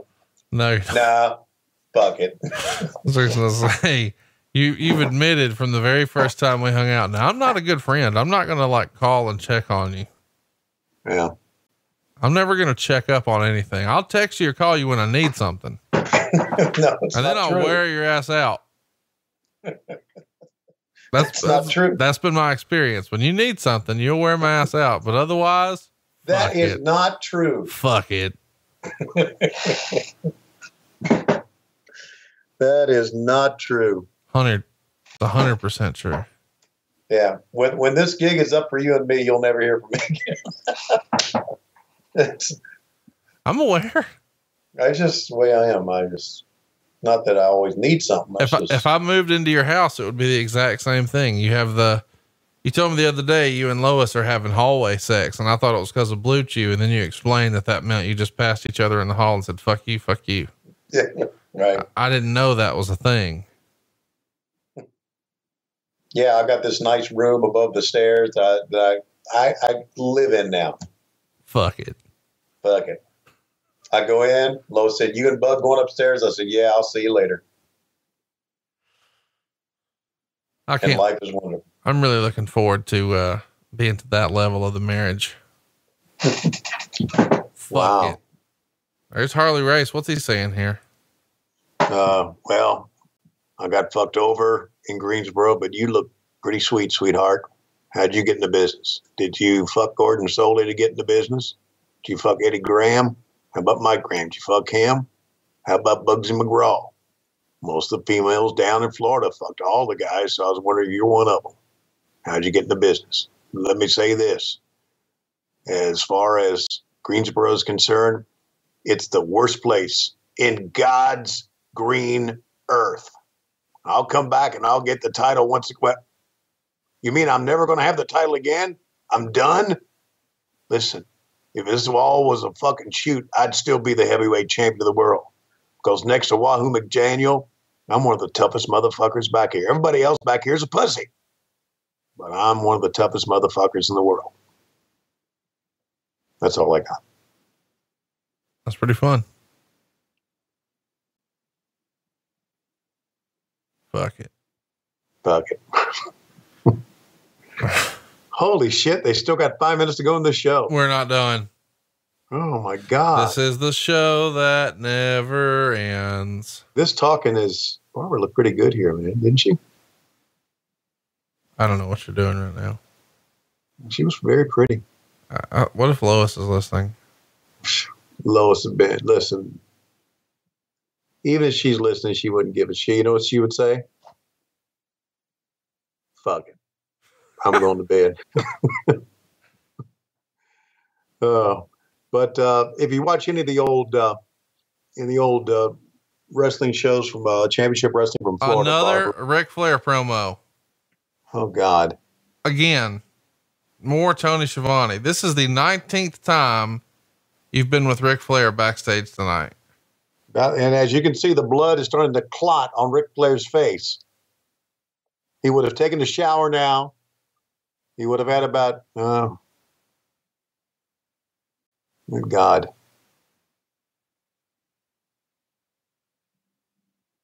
You know, he should be going, woo, dancing, strutting, but no, he's trying to super baby face it. That's what he's been told to do. I guess he has. It's Probably Dusty. Setting it up, getting ready for the next one. The next Starrcade would be Million Dollar Challenge.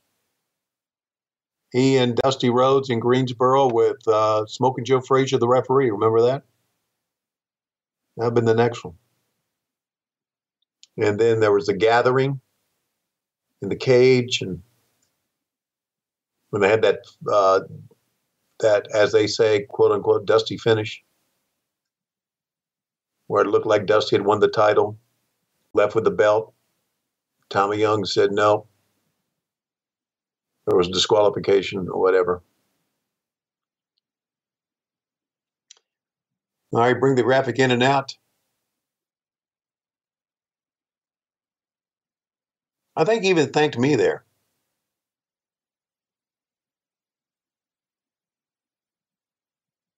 Would you believe it if I told you I still had that tie? No, you don't. Oh, yeah, I do. We throw nothing away here in the house. Nothing.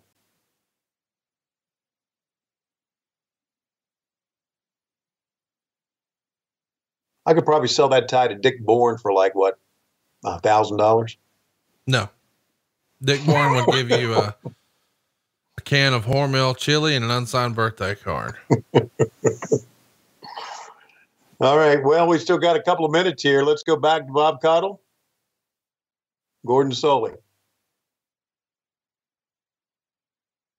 Well, here we are in front of the uh, eighth grade science fair that the uh, Schiavone children have made. Lord, there's a lot of them. And uh, all of a sudden, Conrad's making me sound like Mr. Ed. Isn't that right, Gordon? And uh, that's okay. I mean, you still can't pronounce suplex. Am I right? That's exactly right. I would say I'm going to go back and have about 10 gins, but I've already had 10 gins in me already. That was make number 15 through 20 or 10 through 15. I lost count. I don't know. Wow. I didn't realize how many on cameras we had. Dude, it's stupid. Oh, it is. I want to, I want to really like this. I do. Jesus Christ. Phil, Phil, Phil, Phil, Phil.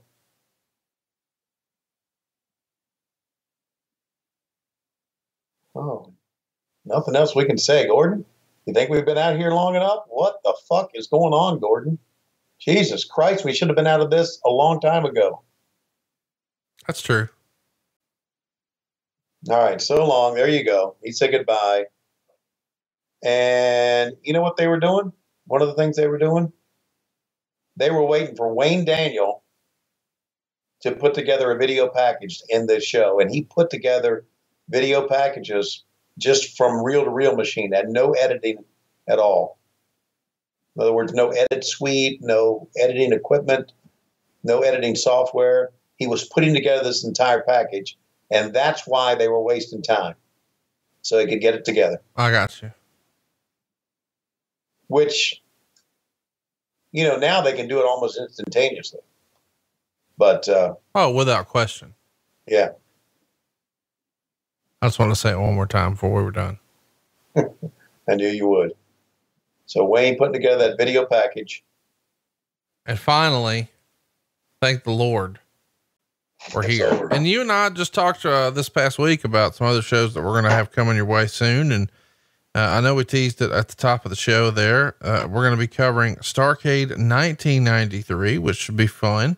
Uh, a little bit 10 years later. And I think we're going to be doing the worst pay per view ever, which I know you think is hard to believe, but it's ECW's December to Dismember.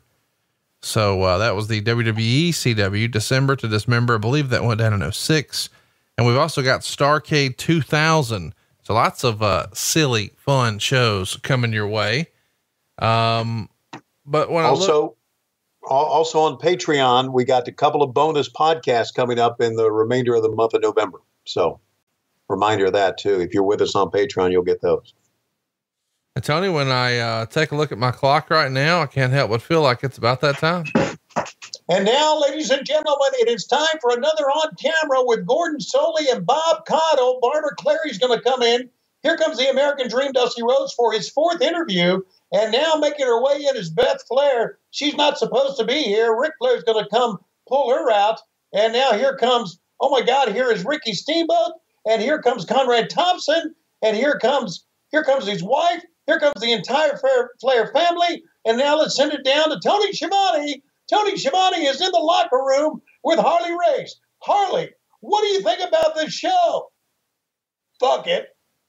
And we'll see you next time on What Happened When on the MLW Radio Network, as well as on Mondays only on Patreon.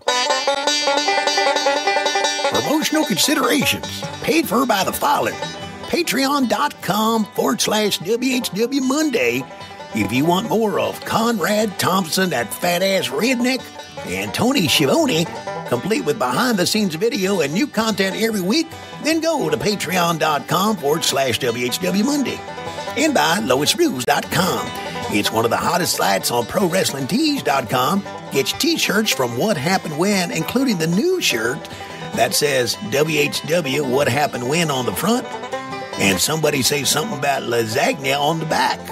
Don't forget, LoisRules.com is named for a crazy fucking lady.